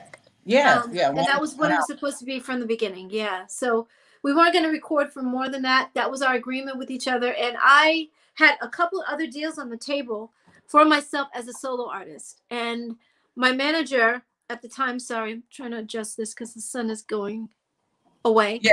I, have heard some funny stories that you shared about the manager. Uh, yes. Oh end up firing, right? Mills? Yes, come on. She was she was she was the bomb. What was it? Cassandra Mills? Cassandra Mills, yes. Yeah. She was the bomb. She really was. I love her. Um, but she was too controlling because she was she was the head bitch in charge at she was running giant records. Yeah. You know what I mean? She was a black woman running a record company, a well-to-do record company. So she thought she could treat me like she did her employees when Giant Record folded, she was started becoming a manager. She started managing artists, and she contacted me, and I was like, "Heck yeah, I, I would love you, yes, because I know you're powerful." But with that power comes the need to control. So yeah. um, she and I uh, would have it out all the time with stuff, my clothes, and she didn't like what I was wearing to meetings and stuff. And uh, so we had a deal on the table. She had a deal on the table for me with Virgin Records and one with RCA. RCA yeah. Bob Jamieson flew us out. Um, I loved his deal much more than I did uh, Virgin, so I chose his deal. But we didn't sign any paperwork yet. This was literally a few days after we got back from New York. Raphael reached out to um, uh, to Cassandra Mills and said, "I have this group idea. I've known Dawn since we were kids. I would love for her to do this. I know she's in between um, deals right now." and I think she'd be great for this group idea that I have, the super group, you know. Lucy, um, you know, Tribe Called Quest meets En Vogue meets Tony! Toni! Toné!, like come together, make this beautiful. Oh, yeah. come on. And she told him no. Dawn is not interested. How do you know Dawn is not interested if you haven't talked to Dawn? right. That's what I'm saying, Latoya. Even run it by you. Just make decisions on your behalf. Don't. I mean, that's disrespectful to me. I think so. Yes, ma'am. Uh, that is exactly it. You said it. She made a decision on my behalf.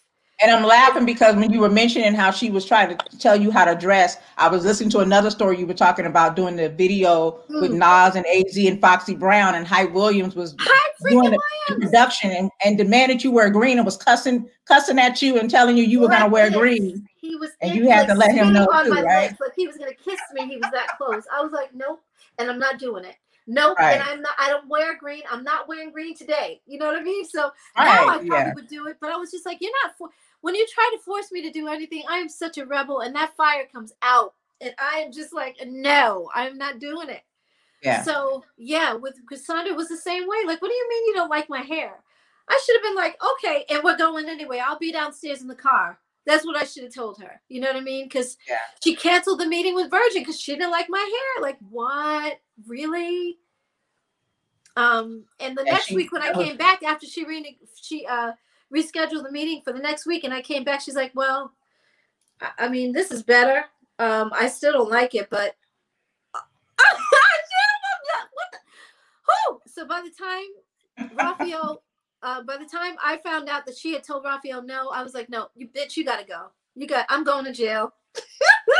this is this is video on Instagram, and the girl says all the time, she's like, you know what, Karen? Because the remember the woman in the uh in the park who called the police on the guy for bird watching and he had his dog she had her dog with her and she was almost choking the dog because she was so angry she called the police on him this just happened last year And so there was a woman that watched that video and she said, she says it all the time. I play it all the time because it's so funny. She's like, okay, Karen, if you were to meet me in the park and you call the police on me, I'm going to jail.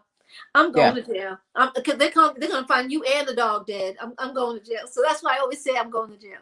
But yeah, she didn't like what I wore the second time. And I was like, I'm not going home to change. That's not going to happen. So either we're going right. to go to the meeting or you just cancel it all together.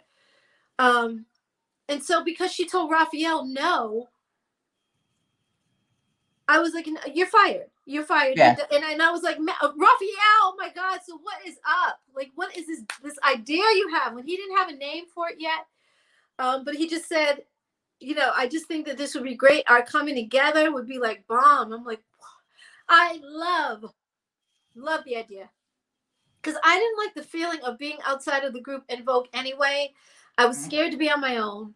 Um, yeah, it was almost like the the nest. You're leaving the nest. En Vogue felt like a family to me. Yeah. Those were my sisters, are supposed to be. They didn't treat me like it, but those are my sisters, and I started with them in this professional world. I, we started together, and I don't want to be on my own. And I'm it's ah, I don't want to leave the group. You know, it was that for me. So, Raphael was like, uh, did I say yes too quick? Oh my gosh, wow. So what are we gonna call it? He's like, I don't know. I was thinking about all these names. Some so Soul for Real or four times soul. He had all these soul names. Yeah, I remember soul Raphael.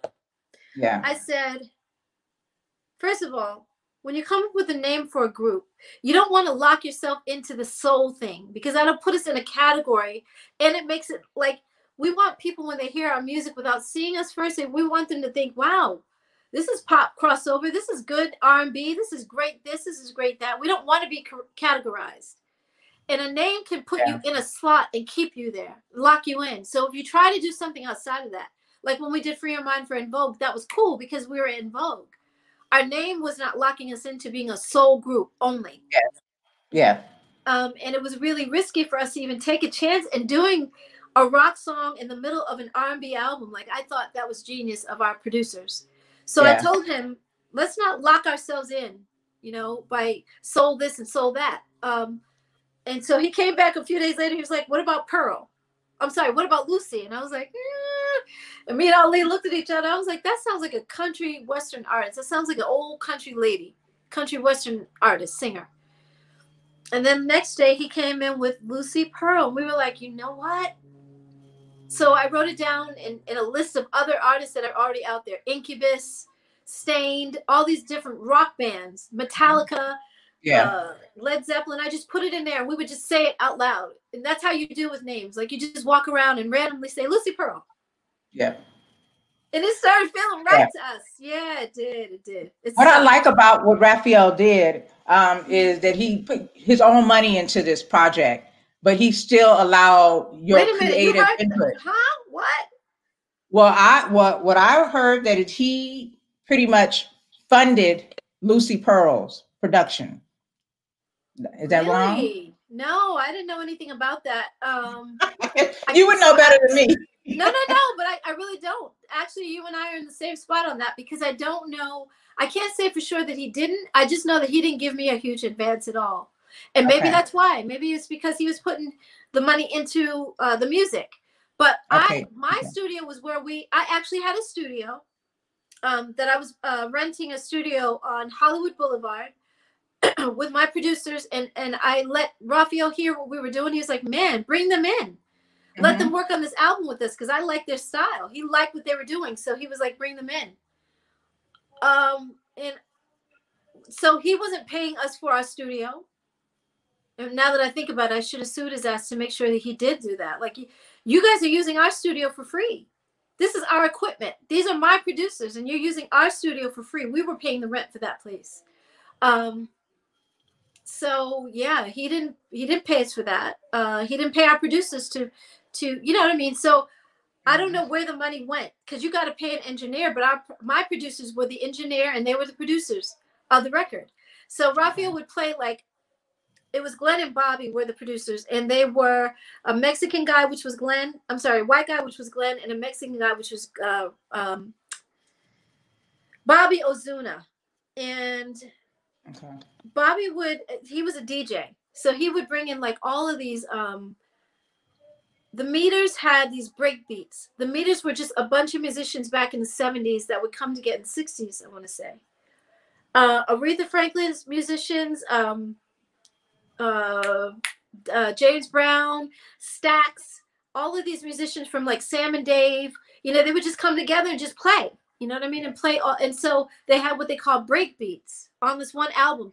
And they would just play each we had a turntable in the studio and everything. They would just go through the record and play each song. And we're like, okay, that sounds good. Or no, we don't like that. Play another one. And they play, and we're like, okay, we would feel that. And Raphael would just pick up his bass and start playing bass lines. Yeah. And then the yeah. next day we would come in, Latoya, and it would be like the start. They would have started another track. Don't mess with my man. Or I can't stand your mother. Or la la la. Like it was it was that like genius of them to do that. So this was more Bobby and Glenn than Raphael and Ali. Okay, okay. I got to give them credit because they were great. And then I had a girl with me um, named Monet, and she's like a sister to me. And she, she and I were working before with the same team of guys. She and I were working on stuff for me before that. So we did yeah. a song called Healing that she wrote on her own, and I recorded that later. I, I recorded that at that time. That's one of the songs that I played for Raphael, and that's why he was like, "Oh my God." Bring these guys in and bring that girl too, Monet. Yeah. So she helped me write the girl parts I'm like I can't stand your mother. Uh, you know, um Yeah, I can't stand your mother. That was something else. exactly. Wasn't it crazy? Crazy. Raphael again. I love his I love the way he thinks. Like he's creative that way. Who would do a he's a musical genius and you guys together were just perfect. I, I know that it was just you went in with a one album deal and that was it. But you guys could have went on, and I know you said there was some little friction with Raphael not really liking the fact that you were getting a lot of the attention. Yeah, being you know the the woman singer in the group. Female. Yeah, yeah, exactly. That is so silly to me. Like he destroyed something for no reason. Let's just let's talk about it. Maybe we can tell the journalists when they're doing the interviews with us, like you guys, we can tell our manager to make sure that they tell each journalist ask the guys questions too because I am much bigger as far as uh, En Vogue is concerned. My group was much bigger than the Tonys. My group yeah. was much bigger than uh, Tribe Called Quest in certain ways. But then when we got to Germany, Ali's group was bigger than both of ours. It was, you know, because hip hop is a culture in Germany. And uh, yeah. Ali was like, wow, I am so embarrassed that I don't know as much about my own group than you guys know about Tribe Called Quest. You know what I mean? So yeah yeah it, it was really is sad that raphael got jealous like that and and, yeah. and verbalized it. He verbalized it. Like it was embarrassing for him to do that with these journalists. Yeah. Made no sense. Do you did, but you said he verbalized do you so you think he know he knew that there was an issue? Like he felt uneasy about the attention you were getting? He verbalized that actually said that? Oh gosh yeah that's why yeah. like i said so two different instances that i can remember for sure one was we were here in Vegas. We were I wasn't living here yet, but we were here in Vegas for the Billboard Awards at MGM. We were doing there's this gigantic room. It's almost like they took two conference rooms and opened up the walls because you yeah. they can do that. And every single table had a different record company. I'm sorry, a different radio station. And you would sit down and you would talk to Norway at this station. You would talk to Tennessee over here. You would talk to New York over there. You would talk to Chicago over there yeah. You would talk to, you know, Hawaii. And so we were waiting for our next. It was me. I was standing in the middle. Ali was standing to my right. We were just standing up against the wall, kind of waiting around mm-hmm. uh, for our manager to come back over and tell us who we were going to talk to next. And uh, uh, Raphael was standing to my left. Ali was standing to my right. And this guy named um, Lee Bailey comes walking over and he's smiling before he even gets to us. And he's an yeah. older man, right? He's got on a hat. He looks like he's going to safari. I don't know why he had this hat on, but he had on a hat and his glasses, and he walks over to us and he takes out of he take out of his pocket. He takes this little dictaphone and he turns it on and he's walking and he's smiling and. And I was like, "Hey, Lee," and he said, "Um, hey, y'all," and he steps right in between me and Raphael, and he kind of squeezes in between us because Raphael wasn't gonna move. Why did Lee Bailey, you should have come this side because if you came on this side, you would have had a better chance. But Raphael said right then, he said, Excuse me. In the middle. exactly. He said, Excuse me, don't you see I'm standing here? What the fuck? Latoya, it was all I could do. I was like, I told Ali, I looked at Ali and I said, We are done. We're already done before we get started. And Lee Bailey was like, he didn't even pay Raphael any mind. He said, Well, everybody wants to stand next to Dawn. Dawn Robinson En Vogue. And and then, and then he started, he, he pushed play, um, record on his little dictaphone. He said, So we have, you know, he started doing the interview and Raphael was over there somewhere. He walked away. Like you could tell that jealousy. Yeah. And I was like, wow. And um, so we did the interview anyway. And then uh, we were fast forward maybe a few months later, we were in London for the first time. Yeah. Now, I had lost my house with Raphael because he told me when I signed to him, I don't have a lot of money up front. Um, but whatever you need, I can find it. I can get it for you. You know, I can't give you a huge advance, but and I said, okay. I just thought it was a better situation because Called Quest. Like, on. I'm listening. I just like that we both have ponytails, but I'm listening. I know. No, from the beginning. I should have said it from the start. Um, yeah. But I just thought it was genius. So I'm gonna do this anyway. And Yeah. here you are. So here we are for the first time in London. And uh, we're sitting on the couch. Now, when you get overseas, they're gonna do as many interviews with you as possible because they know they're not going to see you anytime in person anytime soon. Yeah. So we can do phoners over the phone, but they're like, we have them right here. Oh my God, this is Ali, Shaheed Muhammad. This is Tribe Called Quest. This is Raphael from Tony's. This Awesome. is Vogue. The reason that Raphael had me in the group is because I brought a pop sensibility that he didn't have, or neither did Tribe Called Quest. Okay. Tony, Tony, Tony didn't have that, that crossover appeal. Yeah. So they weren't as well known overseas either. So when we're sitting there, of course, everybody's asking me all the questions. They know and you. after after a while, Latoya Raphael was like, okay. Uh, he was sitting back on the couch for a minute and he had his arms folded. And then after a while, he sat up and he said, excuse me, to the woman that was doing the interview. He said, excuse me. She said, yes. Um, he said, um, so Ali, now Ali again was sitting to my right and Raphael was sitting to my left. And Ali said, Raf, I'm sorry, I did it wrong. Raphael was sitting to my left, Ali was sitting to my right, and Raphael sat up and said, Raf, Ali and I have done a lot in our careers too. Like, don't you want to talk to us? What the fuck?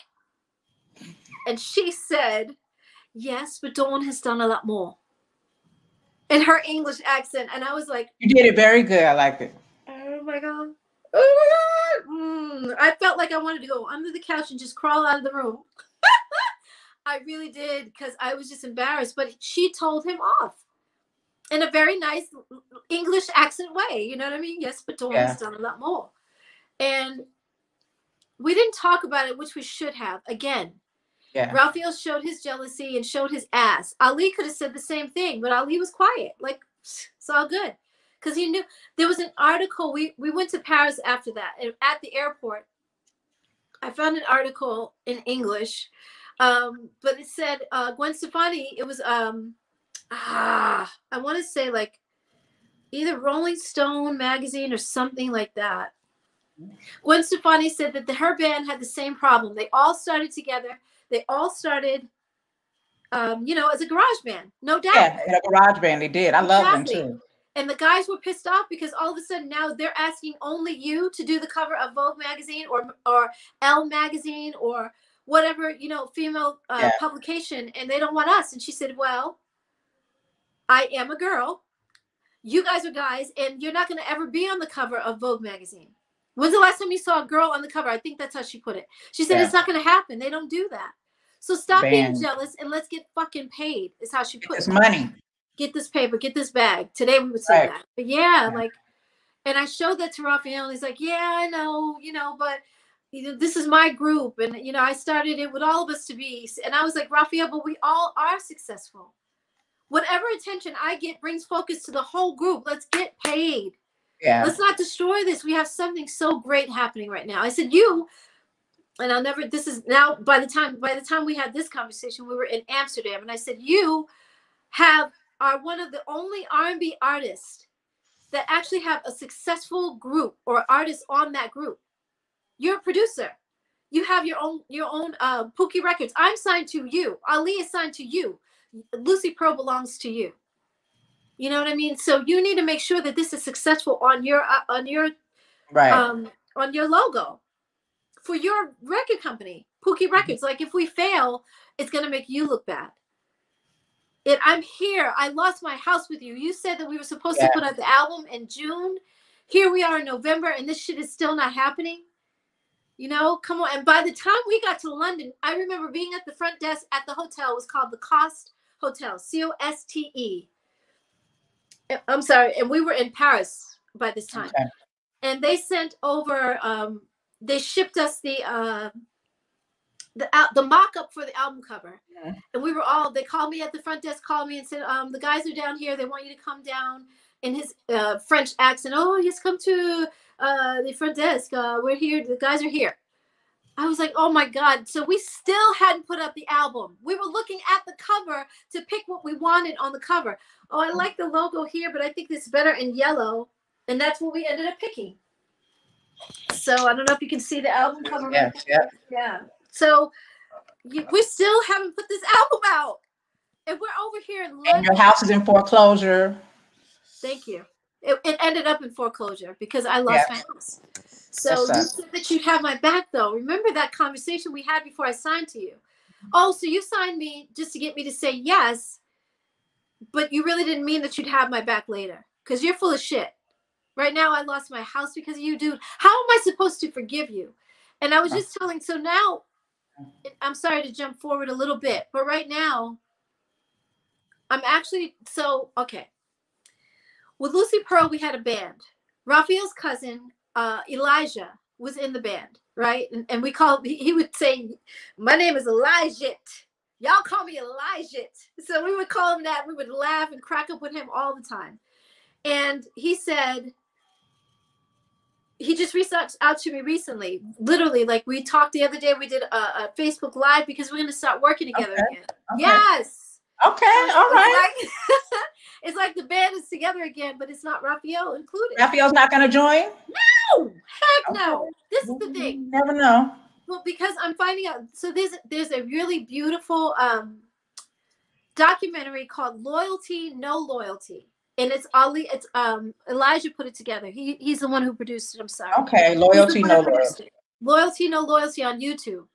Okay. Um, and he talks a little bit about Lucy Pearl, but not very much. But he talked about how Raphael, even as cousins, blood brothers, like literally, his mother, I think uh, Ali's father, Elijah's father, Elijah's mother, and Raphael's father are brother and sister.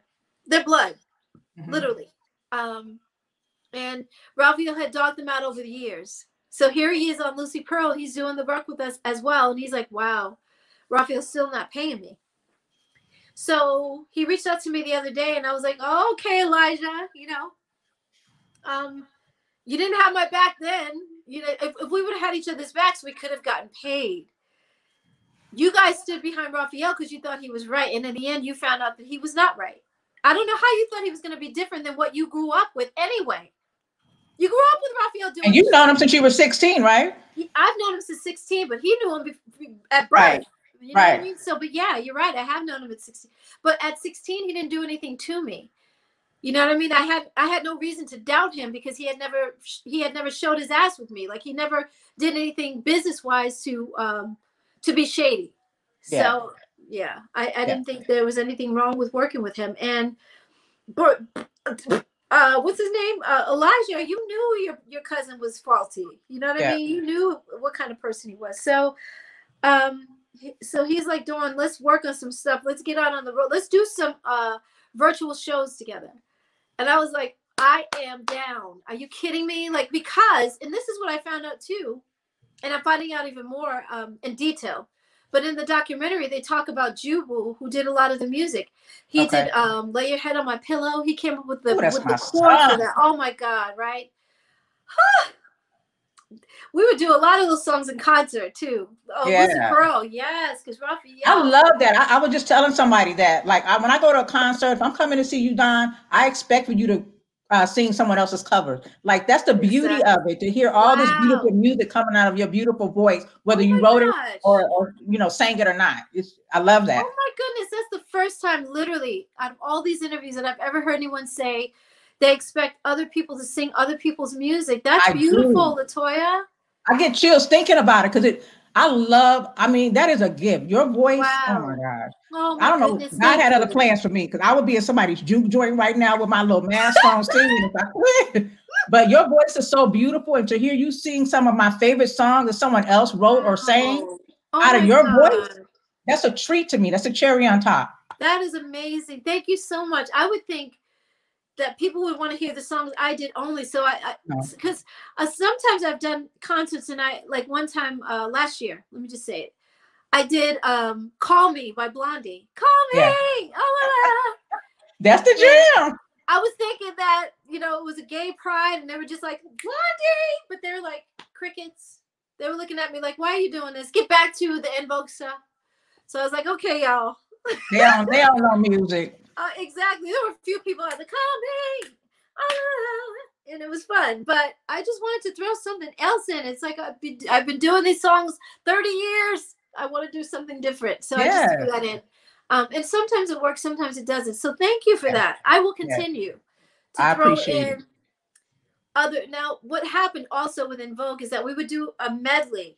Ooh, the medley was um, um, baby, baby, baby.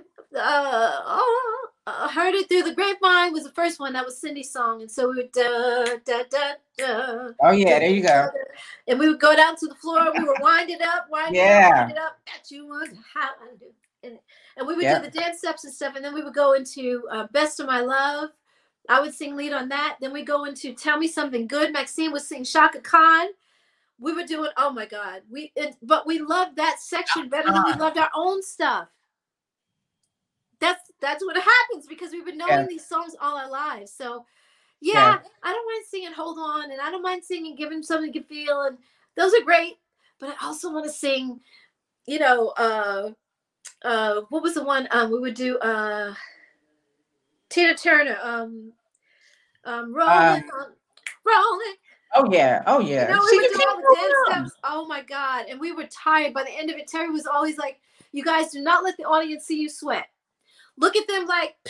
and give a bow and then turn around and be like because we were out of breath because we were yeah. doing all those steps i'm like da da da Da, da, da, da, da, da, da, da. Oh my God. We were tired, but Terry was always like, always smile, thank you so much thank you so much and then turn around to the to the back of the uh to the band and be like yes you know what i mean but yeah so thank you for that i am going to throw in more songs from other people i love it i love it keep yes. on keeping on thank well you. i'm i'm definitely looking forward to you and elijah you know cooking oh up some God. good stuff this kitchen. is just three days in the making. This is like four days in the making. Oh, really? Oh my God. Oh, you sent me some music. Exclusive radio, you guys. Yes. Yes, I think you are the first one that I've mentioned it to because I've done two interviews since then, but I haven't mentioned it to them. Two okay, live. Right. Yes, exactly. Um, he sent me some tracks as well, so we're gonna start working on my album. Um, and we also have so when Raphael left the Tonys, this guy named William, who I have I had to ask my mom the other day, how did we meet William again? Because I remember him in high school, but he didn't go to my high school, and I went to Oakland High, and William and Raphael and Elijah and all of those guys went to Castlemont High. So it was a battle between Oakland, uh, band, our band, our school band, and Castlemont High School. But Castlemont okay. would win every time. Castlemont was like, they would have celebrities come watch them.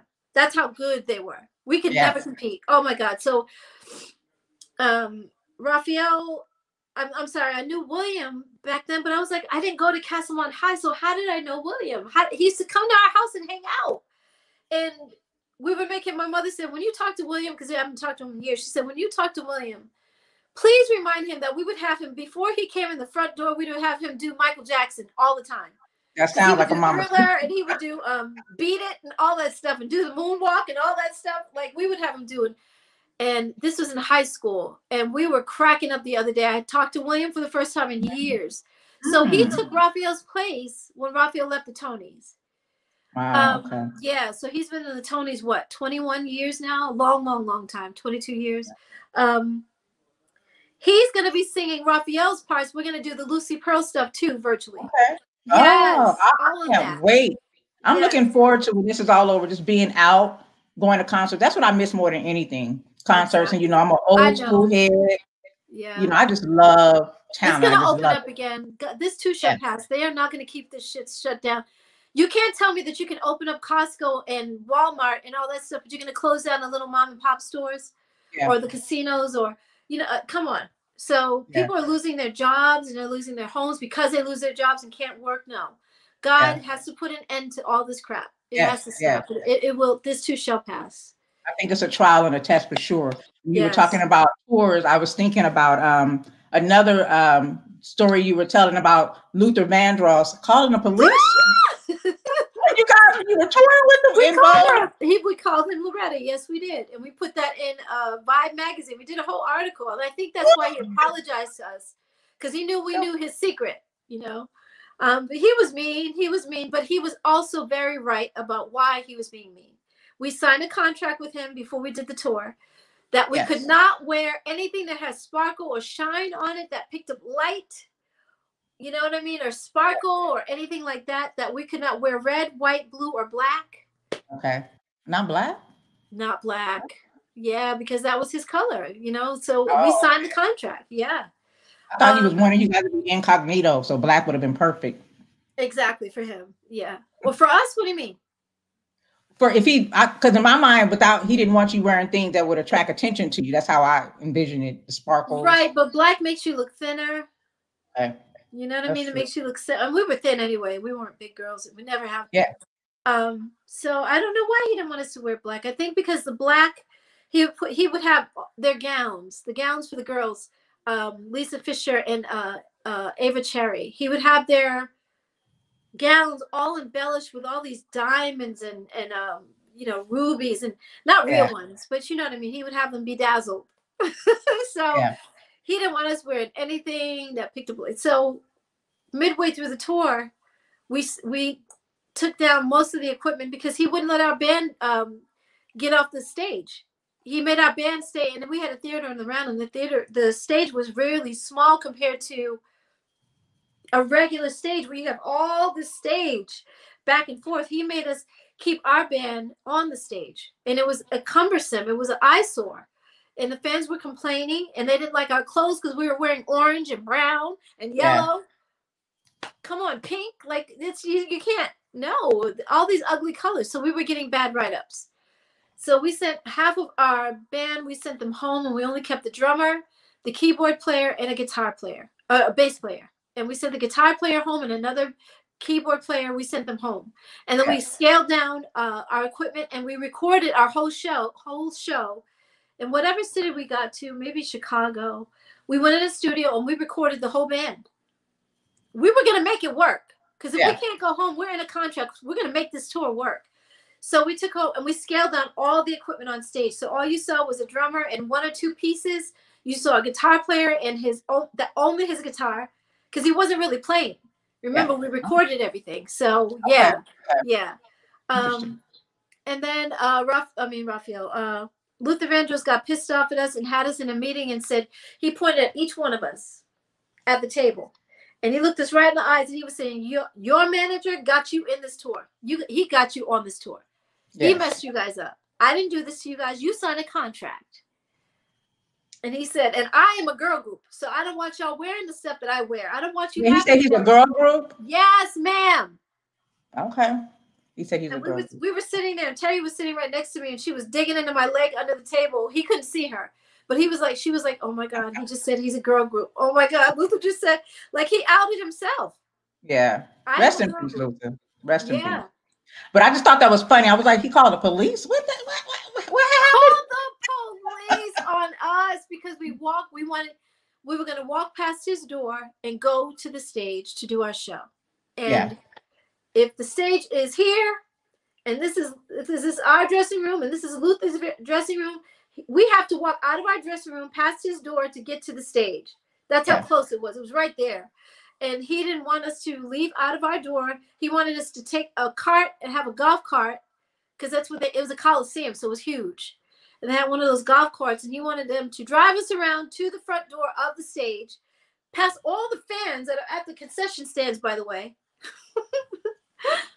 and walk to the stage, and then walk down the steps past the audience. Hey, y'all, how you doing? Hey, how's it going? and walk to the stage and do our show. Are you kidding me? When we could just walk uh-huh. past his door and go to the stage and come through the back of the stage the way you're supposed to come out on stage anyway. Are you kidding me? Oh my gosh.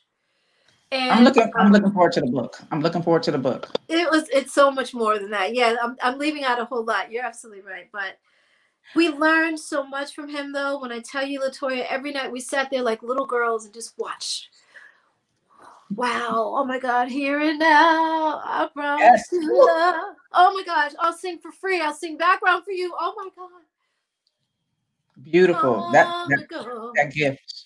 Oh my gosh, he was just amazing. One of a kind. I wish One he would have just talked to us and was. I wish he would have been, you know, nicer. Uh, he was just a stickler. He stuck to his word. I meant it. You guys signed a contract. He was about, you know, his contract. Yeah. What I was pissed off about because I told the girls when we left out of there and we got a chance to talk about because you know you don't start talking until you get away from with an earshot of the person you just met with. And by the time we got to our dressing room, I said, "You guys, you know what? Luther is absolutely right. He's right." And I'm pissed off because our manager is David. You got us on this tour. You know, yeah. Cindy was pregnant. Cindy was six months when we first started that tour. Who wants to be on the road at six months? Nobody. Nobody. Okay, I'm not. I've never been pregnant, but I can imagine what that's like. You want to be home, and you don't want to be on the road, living out of a tour bus, living out of a suitcase. You know, that's what we had—a tour bus, and she wanted to be home with her husband. Yeah. And here she yeah. is out on the road with us. She stayed until six months and she was like, You guys, I gotta go. I wanna be I wanna her husband was decorating the uh the baby, uh what do you call it? Um the nursery himself. She's like, No, I gotta go home. Yeah. I don't blame her. Yeah. I am a fellow on Facebook who said maybe by girl group he meant he appeals to women. No. No. Yeah. Speaking no. of women. He, he met because he was standing there one time and I was standing with him. I was standing with my ex-boyfriend, and we were talking. And I said, "Well, I'll meet you on the bus." I was doing something because he had he was our liaison, so he would set up our dressing room and all that stuff. And and oh, okay. uh, yeah. yeah, so um, I brought him on the road, but he was working all the time. We hardly saw each other until we went to bed that night. He would be in my hotel room, but that was it. Come the morning time, he would take our our, our uh, uniforms and take them to get them cleaned. Like he would leave and go do his job because I told him you can't be laying up underneath me just because you're my boyfriend. I don't want the girls being pissed at me because you're being. You did try.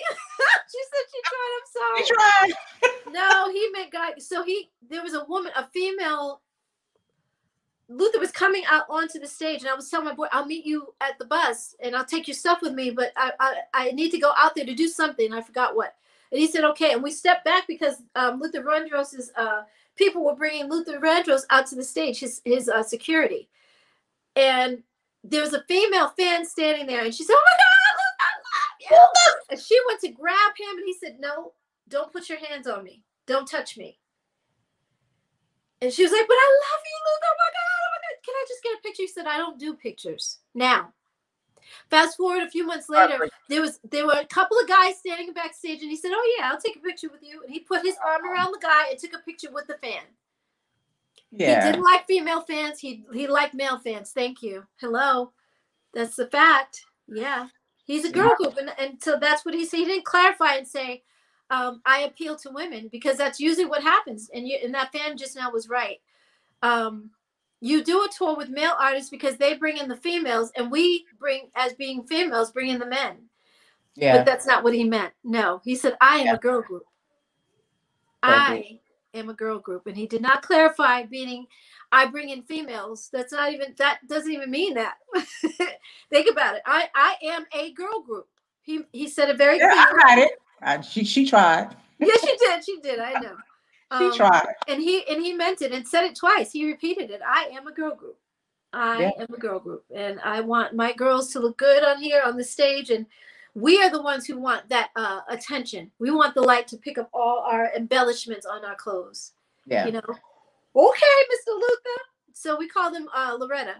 Uh, what was it? Loretta on the road. Loretta. Yes, we had a name for him. We said that in Vibe magazine too. Oh man, we did. Wow. And our That's band made up these stickers just before we left the road. And if he was alive now, he'd be like, that's where the damn stickers came from. But our band was like, because he was so mean to our band and our crew. Um, and the crew is like the crew sticks with each other because all the crew helps each other. Put up the stages for the artists, tear them down, and put them up in the next city together. The crew yeah. is always like you don't separate the crew from each other. Yeah. The crew is the first one to get in town and the last ones to leave. After we leave, the crew is like helping tear down each other's stages and all that stuff. So they leave, oh man, sometimes three hours after us. And we're mm-hmm. already three hours on the road and they're still stuck there in the city trying to get out of town. Sometimes there's bad weather. I mean, the crew works the hardest to me. They we don't give them enough love. The crew is the one that makes all those shows happen. Um, even more than the band. The band does too, but the band leaves with us. The crew has to stay and help the other crew tear yeah. down. So he separated our crew, and we came through the hallways of one of these venues, and they had curtains. Mm. We they had Luther Vandross told them to put the, our crew in the hallway and make them eat like little kids behind these curtains. So they had tables in the hallways, and, and we opened the curtain. We were like, "Oh my God, you guys are eating in the hallway!" And they were like, "Yep." And we were like, Cindy was like, oh no, oh hell no. And she's big and pregnant. She stands up and she's walking around and looking for Luther Vandross and his uh we had a um a tour uh the tour, not a tour manager. Um oh my gosh, Jeff Sharp is his name, but he had a title. He's the yeah, one who set the whole tour up for us. Yeah. So they project, would know oh, Yeah, kind of like a project manager, tour manager. Well, no, we had a tour manager, but that's not who we talked to. We okay. talked to the guy who was the one who put the tour together. Um, okay. An agent. He's an agent. And okay. uh, we were looking for, and we kept going in all these rooms, and we were like, Cindy, slow down, because she was ahead of us. Oh, no, hell no. You're not going to do this to our band. Um, excuse me, is he in here? No, Jeff Sharp, where's he at? And she finally found him and she said, Jeff, you have our band in the hallway looking eating like little children. She was almost in tears. She was pissed off because our band works hard yeah. Oh, she was not having it. She was like, "No, you will not do that to our band." Um, and uh, so the next city, they were eating with the other band in the room in the cafeteria where they were supposed to be. You know what I mean? You could take it out on us, but you don't take it out on the band because those guys work hard. You don't do that. Yeah. You don't do that. Yeah. So she was like, "No." She straightened them out though. She got them straight. Amazing, amazing. I think that's an amazing story. Um, I know this is something you probably would like to forget about, but just you know, from mentioning, I remember seeing you on R&B Divas. Um, yes, that's okay. Was that 2013? Yep. Yeah. And you just did one season. That was it. That's it. That is all. Are you kidding? My my attorney had me out of this so quick. Um, when they first signed me, first they wanted me for LA, sorry, Atlanta Divas. And I said, well, I don't represent Atlanta and I don't want to move. I live in LA. So no, thank you, but I appreciate you asking. And then seven months later or so, uh, they came to me and said, um, "Okay, what about doing LA Divas?" And I said, "Cool." Um, well, no, at first I said, "Let me pray on that," because I, I'm not into reality shows. I just have to say, I'm just not. I think they're catty. I think they're messy. I think it's ridiculousness for no reason. I think there's so many stories that can be told about people's lives. We all have a story. Mm-hmm. And I mm-hmm. think that's why people want to watch these reality shows thinking that the stuff they're watching is real. But it's not. I don't even know why they call it reality. They call, they need to call it relatable TV. yeah, it's then it's they say it's unscripted, but to some degree it is scripted nowadays. It's very scripted. It is. They they lead and they guide it. They don't yeah, script it right. per se and say and say this, but they'll trigger some things. Oh, so you know, um, she was talking to your husband today, and they yeah. had some kind of like, oh, it looked like something was going on over there. So they do that kind of stuff, and they trigger. Yeah, drop stuff. you off in the wrong hood or something like that. You know. Exactly. That's right. And so they they trigger us to have these nasty conversations with each other, and they love for us to go at it with each other and fight. And mm-hmm. I'm like, oh no! I told you guys before I signed that I am not doing messy. I don't dig that shit. And our producer of the show, his name is Leslie, or was he's still alive, but he he's no longer my manager. He said, Dawn, you have to think you should have known what kind of show you were getting into because we we do Atlanta Housewives too. And I said, No, Leslie, you assume that because I'm a black woman, I watch that kind of mess. I don't do that. And I'm not putting them down. I'm just saying I don't I don't dummy myself down to watch that kind of TV. Um, I was hoping that when I did see the very first episode when it aired, or the very first um, when it premiered, I watched the Mhm. very first one and I said, I love this show. And then they started getting messy with each other. And I'm like, no, that's too bad because they're going at it with each other and it doesn't make any sense. Why can't we as black women lift each other up? Why do we have to put each other down? I don't get that. And then I asked him, I said, so while we're, we're talking, I said, there's shows that come on that are like, um, at the time there was Pilar and uh, what's his name, the football player. Um, Um, I can't think. Um, uh, I the can't black man, and him and his wife had a show. His name, his wife's name is Pilar. Sanders. Um, who else had a show? Um, A few people. Somebody in the chat might know. I can't think of yeah, exactly. So I was like, well, why a show like that does well, and you know, you got Family Jewels where you have uh, what's his name from Kiss. Um, you got all of these shows that, that he said because there's kids on those shows, and we don't want to exploit those kids. You know, and I said, so you can exploit black women because what? We don't have lives that matter. A lot of these women on the show, I don't have kids, but they have kids. So what about their kids? You don't care that they have children and, and husbands or boyfriends that love them? Or that their mothers and fathers will see the show? Like you want us to turn on each other and have this animosity. He said, Well, you can do that. How about you do that on camera? And then off camera, you can go ahead and uh, laugh about it and go have drinks or something. I said, Because I told you guys, the very first meeting we had, when we first met each other, I told you that I don't do messy. And Yeah. that we, as Black women, we have a responsibility for young Black women that are watching us. So I'm not going to do that. And you guys said, oh no, we don't want a messy show. We're never going to do that with you guys anyway, Oh. because we want a different type of show. That's what you said, Leslie. And he said, well, you, and he pointed at me just like this, you, Dawn Robinson, better um, make a decision and decide if you want to be on a show like this. And I said, I would have done that had you told me up front and been honest with me about the show that you were fucking doing. I would have been, I would have said right then, I don't want to be a part of this shit. But you told me that you were going to do a different type of show. So Yeah. I'm not going to do that. Yeah. Yeah. And it's unfortunate with these reality shows because that's not, you know, every once in a while, yeah, you might want to see somebody, you know, read somebody their rights. But as grown women, we're not looking to see grown women fight. You know, when I watch these reality shows, I, I want to be inspired because you have all these businesses and you're juggling your life and your family and you're showing us how you can still live and be successful. You know, I'm not looking to just see fighting and big wigs Exactly. and big lashes, Yeah. you know, well, big purses. You know what. I'm saying? and and not only that, to add to what you're saying, Latoya, my thing is my life is not a reality show. My life is for real. It is hard enough Yeah. to just be an artist trying to get my game back on, to get Yeah. someone to pay attention to me, to get a manager. Do you know? I've had so many doors closed in my face, and this is what I said in that meeting too. I, I have tried to reach out to Benny Medina for management. I've tried to reach out to um, Irving Azoff for management. All of these big people, and they just like, oh no, we're not taking new artists right now. Or, um, you know, the guy who was managing, um, ooh, what's his name? Uh, Justin Bieber. And I know that's a Oh. younger artist, but still, he has artists that are older.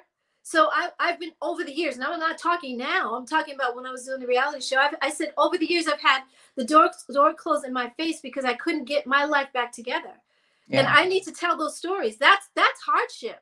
That is some bullshit. That is Mhm. me- it's not messy. It's just my life. I don't need Yeah. to make up drama because Right, my life is right. drama already.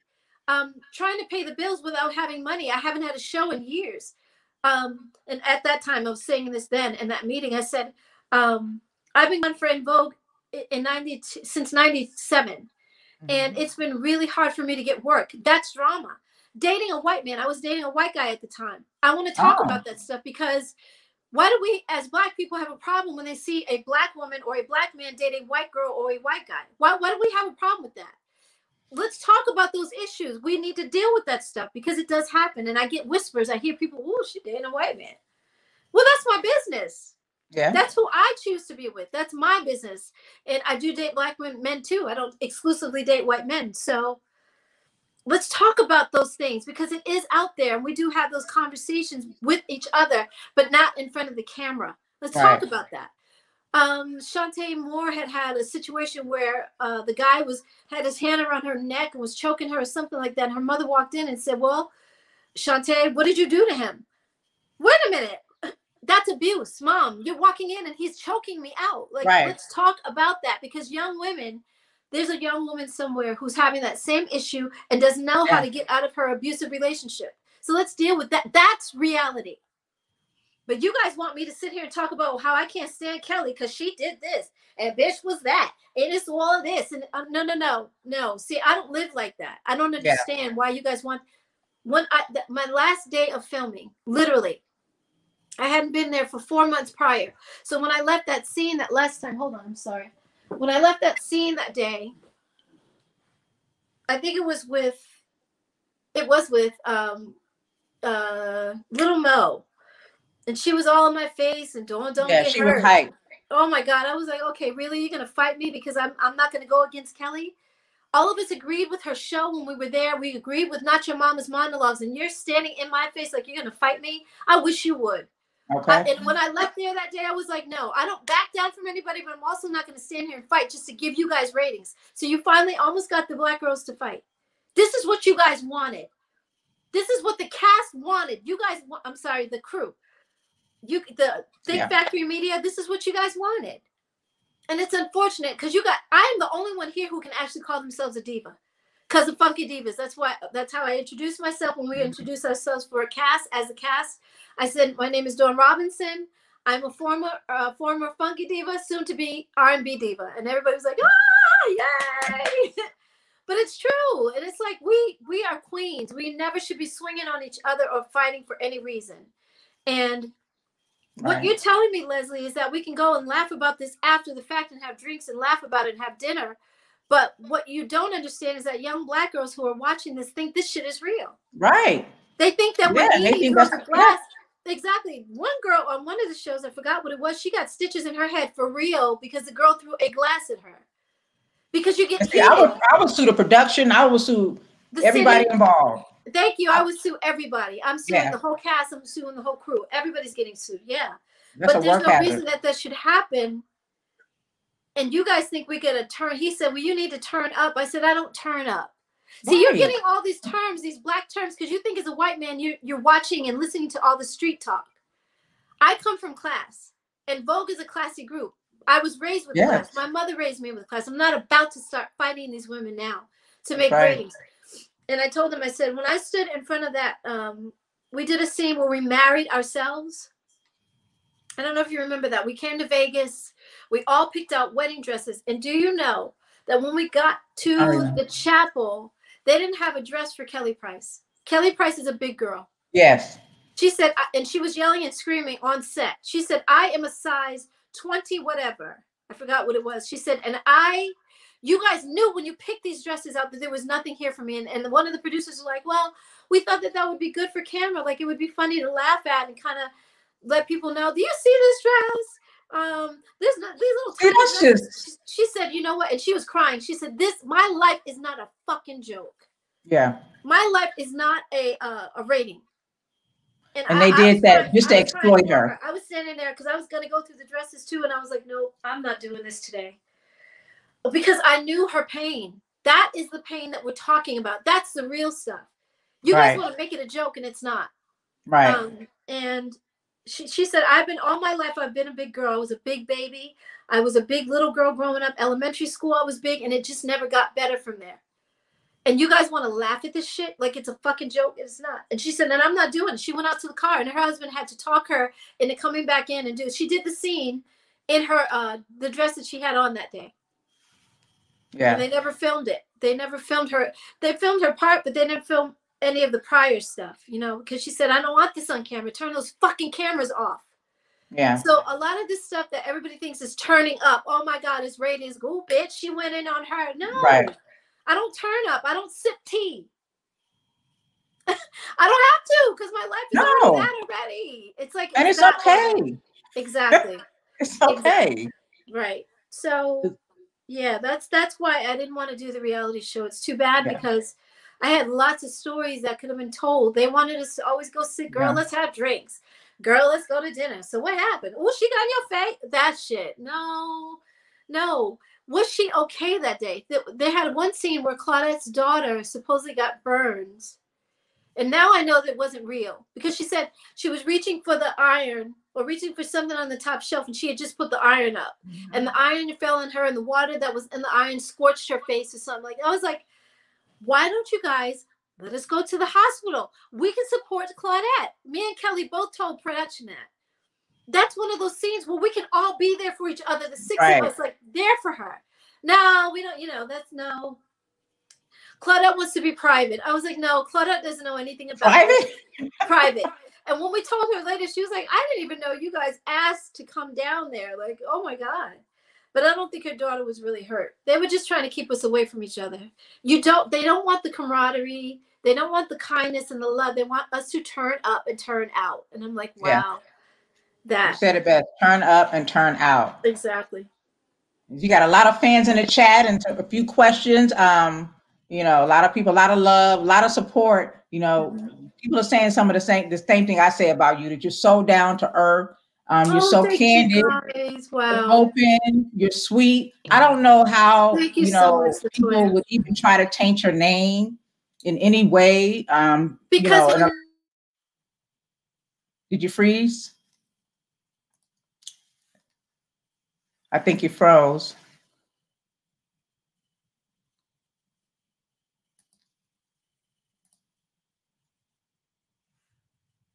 She might come back. So yeah, I don't understand how anybody would want to taint her name. Dawn is just, you know, down to earth. She's real. She she says what what's on her mind. And you know, sometimes people get bad labels for speaking up for themselves. You know, they get called things they shouldn't necessarily uh, be called because they stick stick up for themselves. But then what ends up happening later in life is a lot of us benefit. A lot of us benefit from, you know, the fact that somebody spoke up for us. Okay, you back with us? Yes, I am. Okay. So yeah, I would, you know, just add into it that yeah, you know, I, I can't see how anybody would say anything negative about you. I mean, you just so sweet. Your energy is just thank you so oh, much. No, you know, this is, and this is who I've always been. But I think what happened was I ended up in a in a in a career in um, a world of darkness and people that are not. Their agenda is to take you down, tear you down. I mean, you've seen it over the years where you have a mm-hmm. couple that everybody loves. They just start dating, and everybody's like, "Oh my gosh, they're the new Camelot."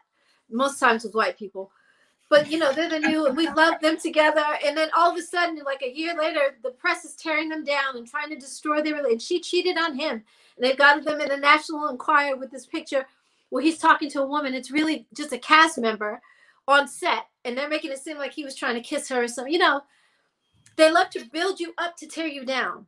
And because I yeah. have I have a kind nature, I have uh I have God around me. Mm-hmm. My spirit is light and I love being who I am. And because yeah. I am kind, and I and I'm not saying that to pat myself on the back, I'm saying it because they see people like me as a threat.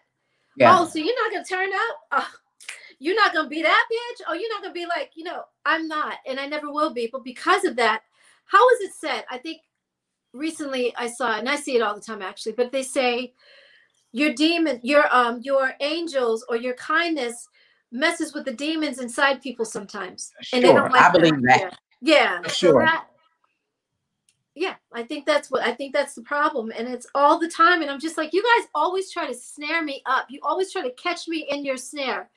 What what is the saying? Um, all what a tangle web we weave when we try to deceive people you always get caught up in your own shit when you try to do something to hurt someone else on mm-hmm. purpose. Mm-hmm. It never goes well. That is yeah. karma.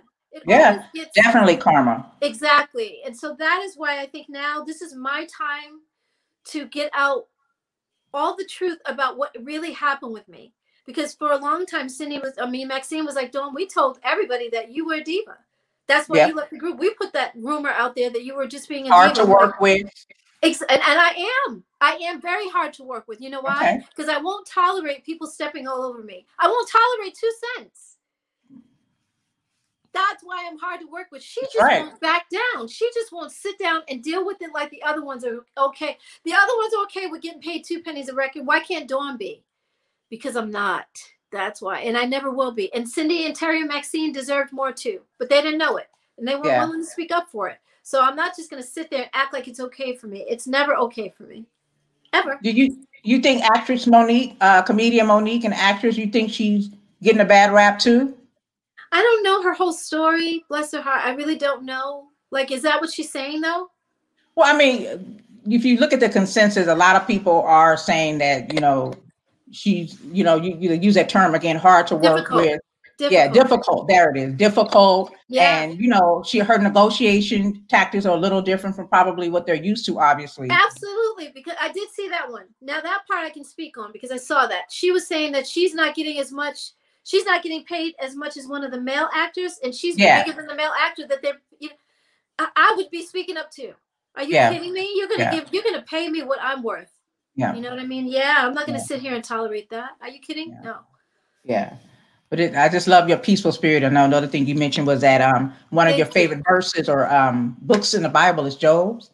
Jobs. Job all the time. You're And, you're um, really studying me, Latoya. I love I, I just love so much about you. You just, I just Oh. love it. I mean, I go back to the beginning of the show when I mentioned that, you know, this isn't a, a huge platform. I don't have a whole lot of followers, That's but when I reached out to you, you didn't hesitate to respond, and That's you just made me feel very welcome. You know, Right. Yes, and And- you are. Come on. I mean, it, this, does that doesn't matter to me. Like I said, you have, if you have ten people, if you have two people, if you have a thousand, if you have a million, you have people, and all those Yeah. people know who I am, and through you, through Yes. your platform, are seeing me again for the first time in a long time. So I'm grateful for Yes. that. Your and they're excited is- to see you. And your platform is just as, as exciting to me as me being on it for you. So it's both ways. It's it's Thank give and take, Thank and I do appreciate you. Um, Yeah.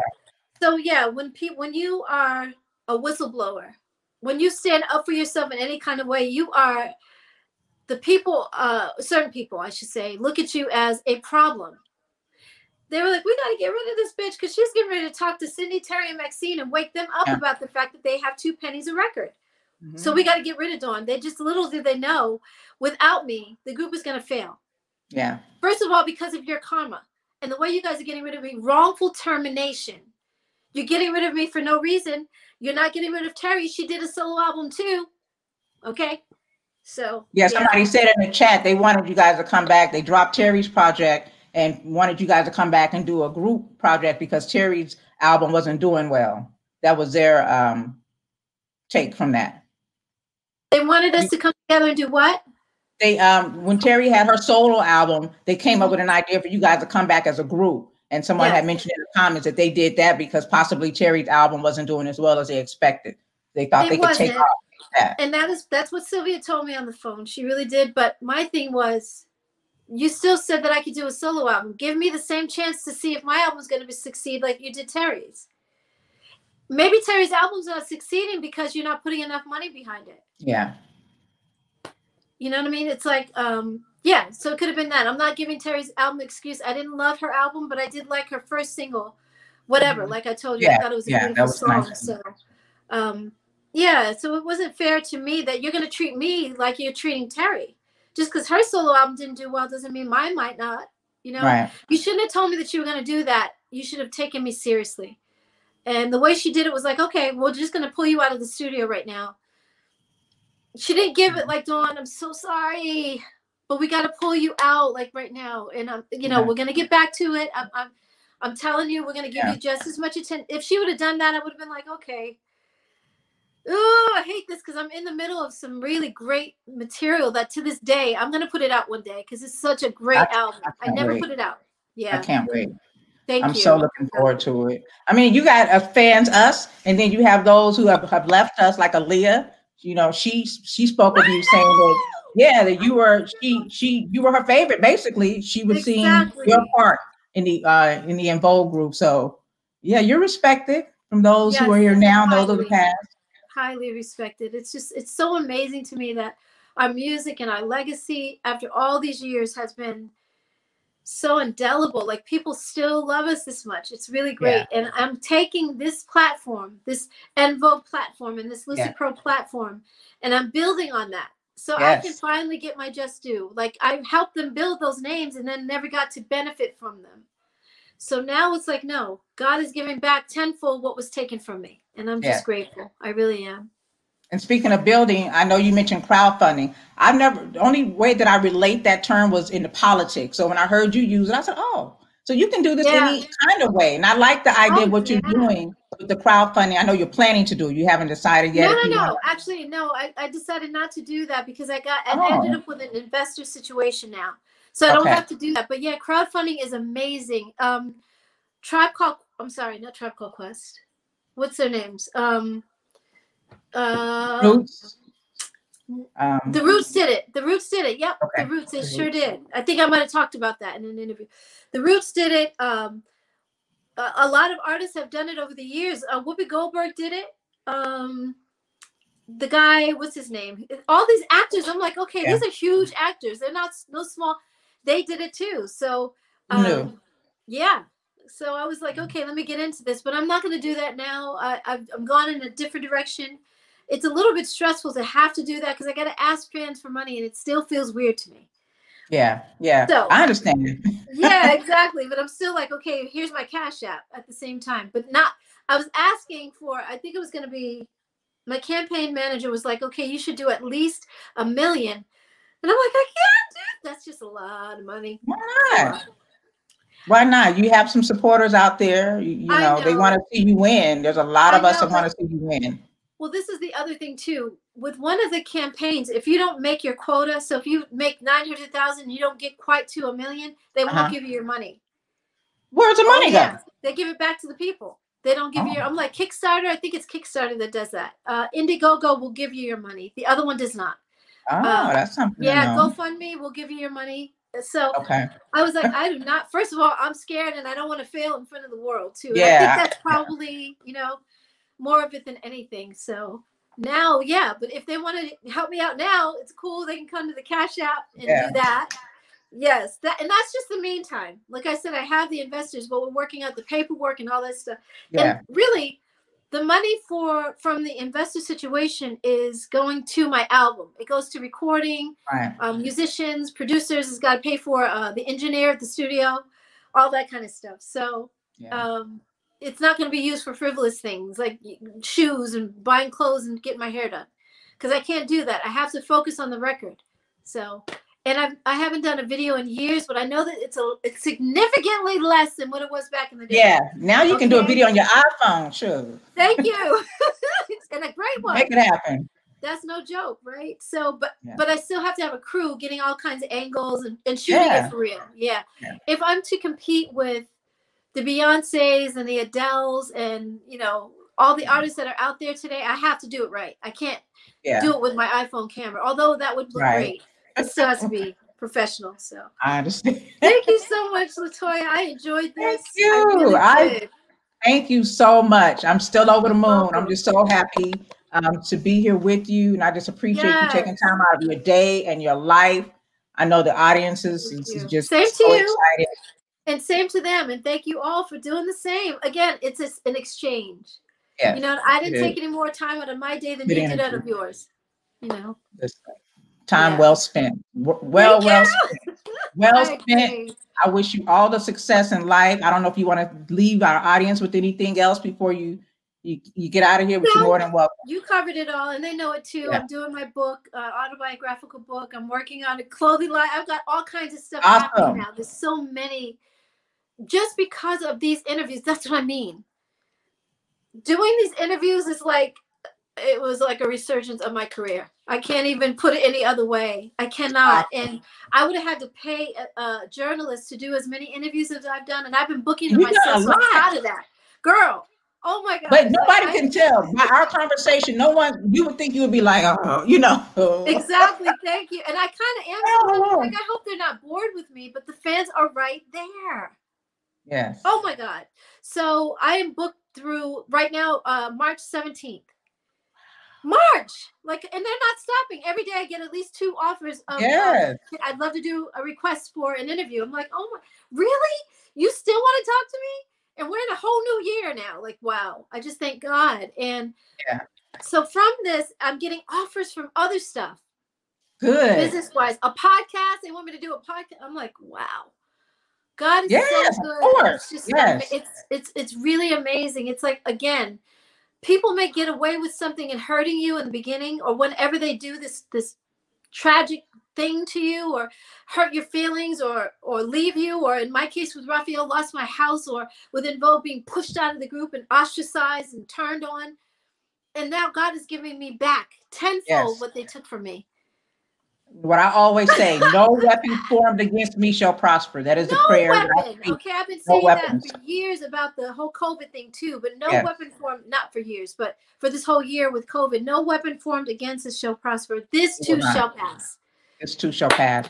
Yes. I'm going to hang on to those very words. Right, Again, exactly. I just love you and appreciate you. I'm just looking Thank forward so to looking much. as good as you do. I got 10 years to catch up.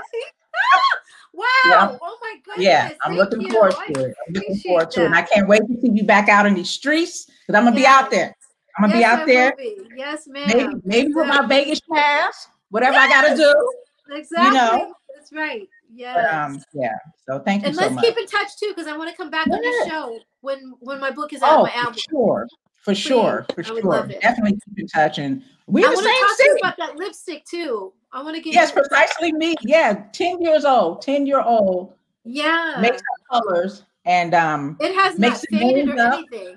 Wow. Yeah, precisely me. Um, her name is Alexa Janae, and she's a beautiful little girl. And she's so creative, and I'm so proud wow. of her. I'm she very proud of her too. Yeah. Me too. So, inspired. Yeah. My own. I wasn't thinking about lipstick. exactly. I was thinking about boys and playing outside, you know? Yeah, I said I was trying to stay, stay out while the street lights was on, you know? Exactly. Come on, all of us. So yes, thank you yes. again, you guys. Thank, thank you. you. so much, Latoya. Thank you. Care, you. We'll talk soon. Okay. And to all of you, thank you so much for watching this video today in your ear radio. You guys know your presence is my present. And I just love and appreciate you for tuning in every Saturday to In Your Ear Radio. We're gonna be, we gotta do an after dark soon. So that'll be coming up. And hopefully we can get some something good and juicy for you guys. I know y'all like to act up on uh after dark. So but thank you all for watching. I'm sorry if I didn't get to all of your questions in the chat, but I love and appreciate you all. And I hope that you enjoy the rest of your Saturday. Mwah. Love you so much. Thank you and have an awesome rest of your weekend.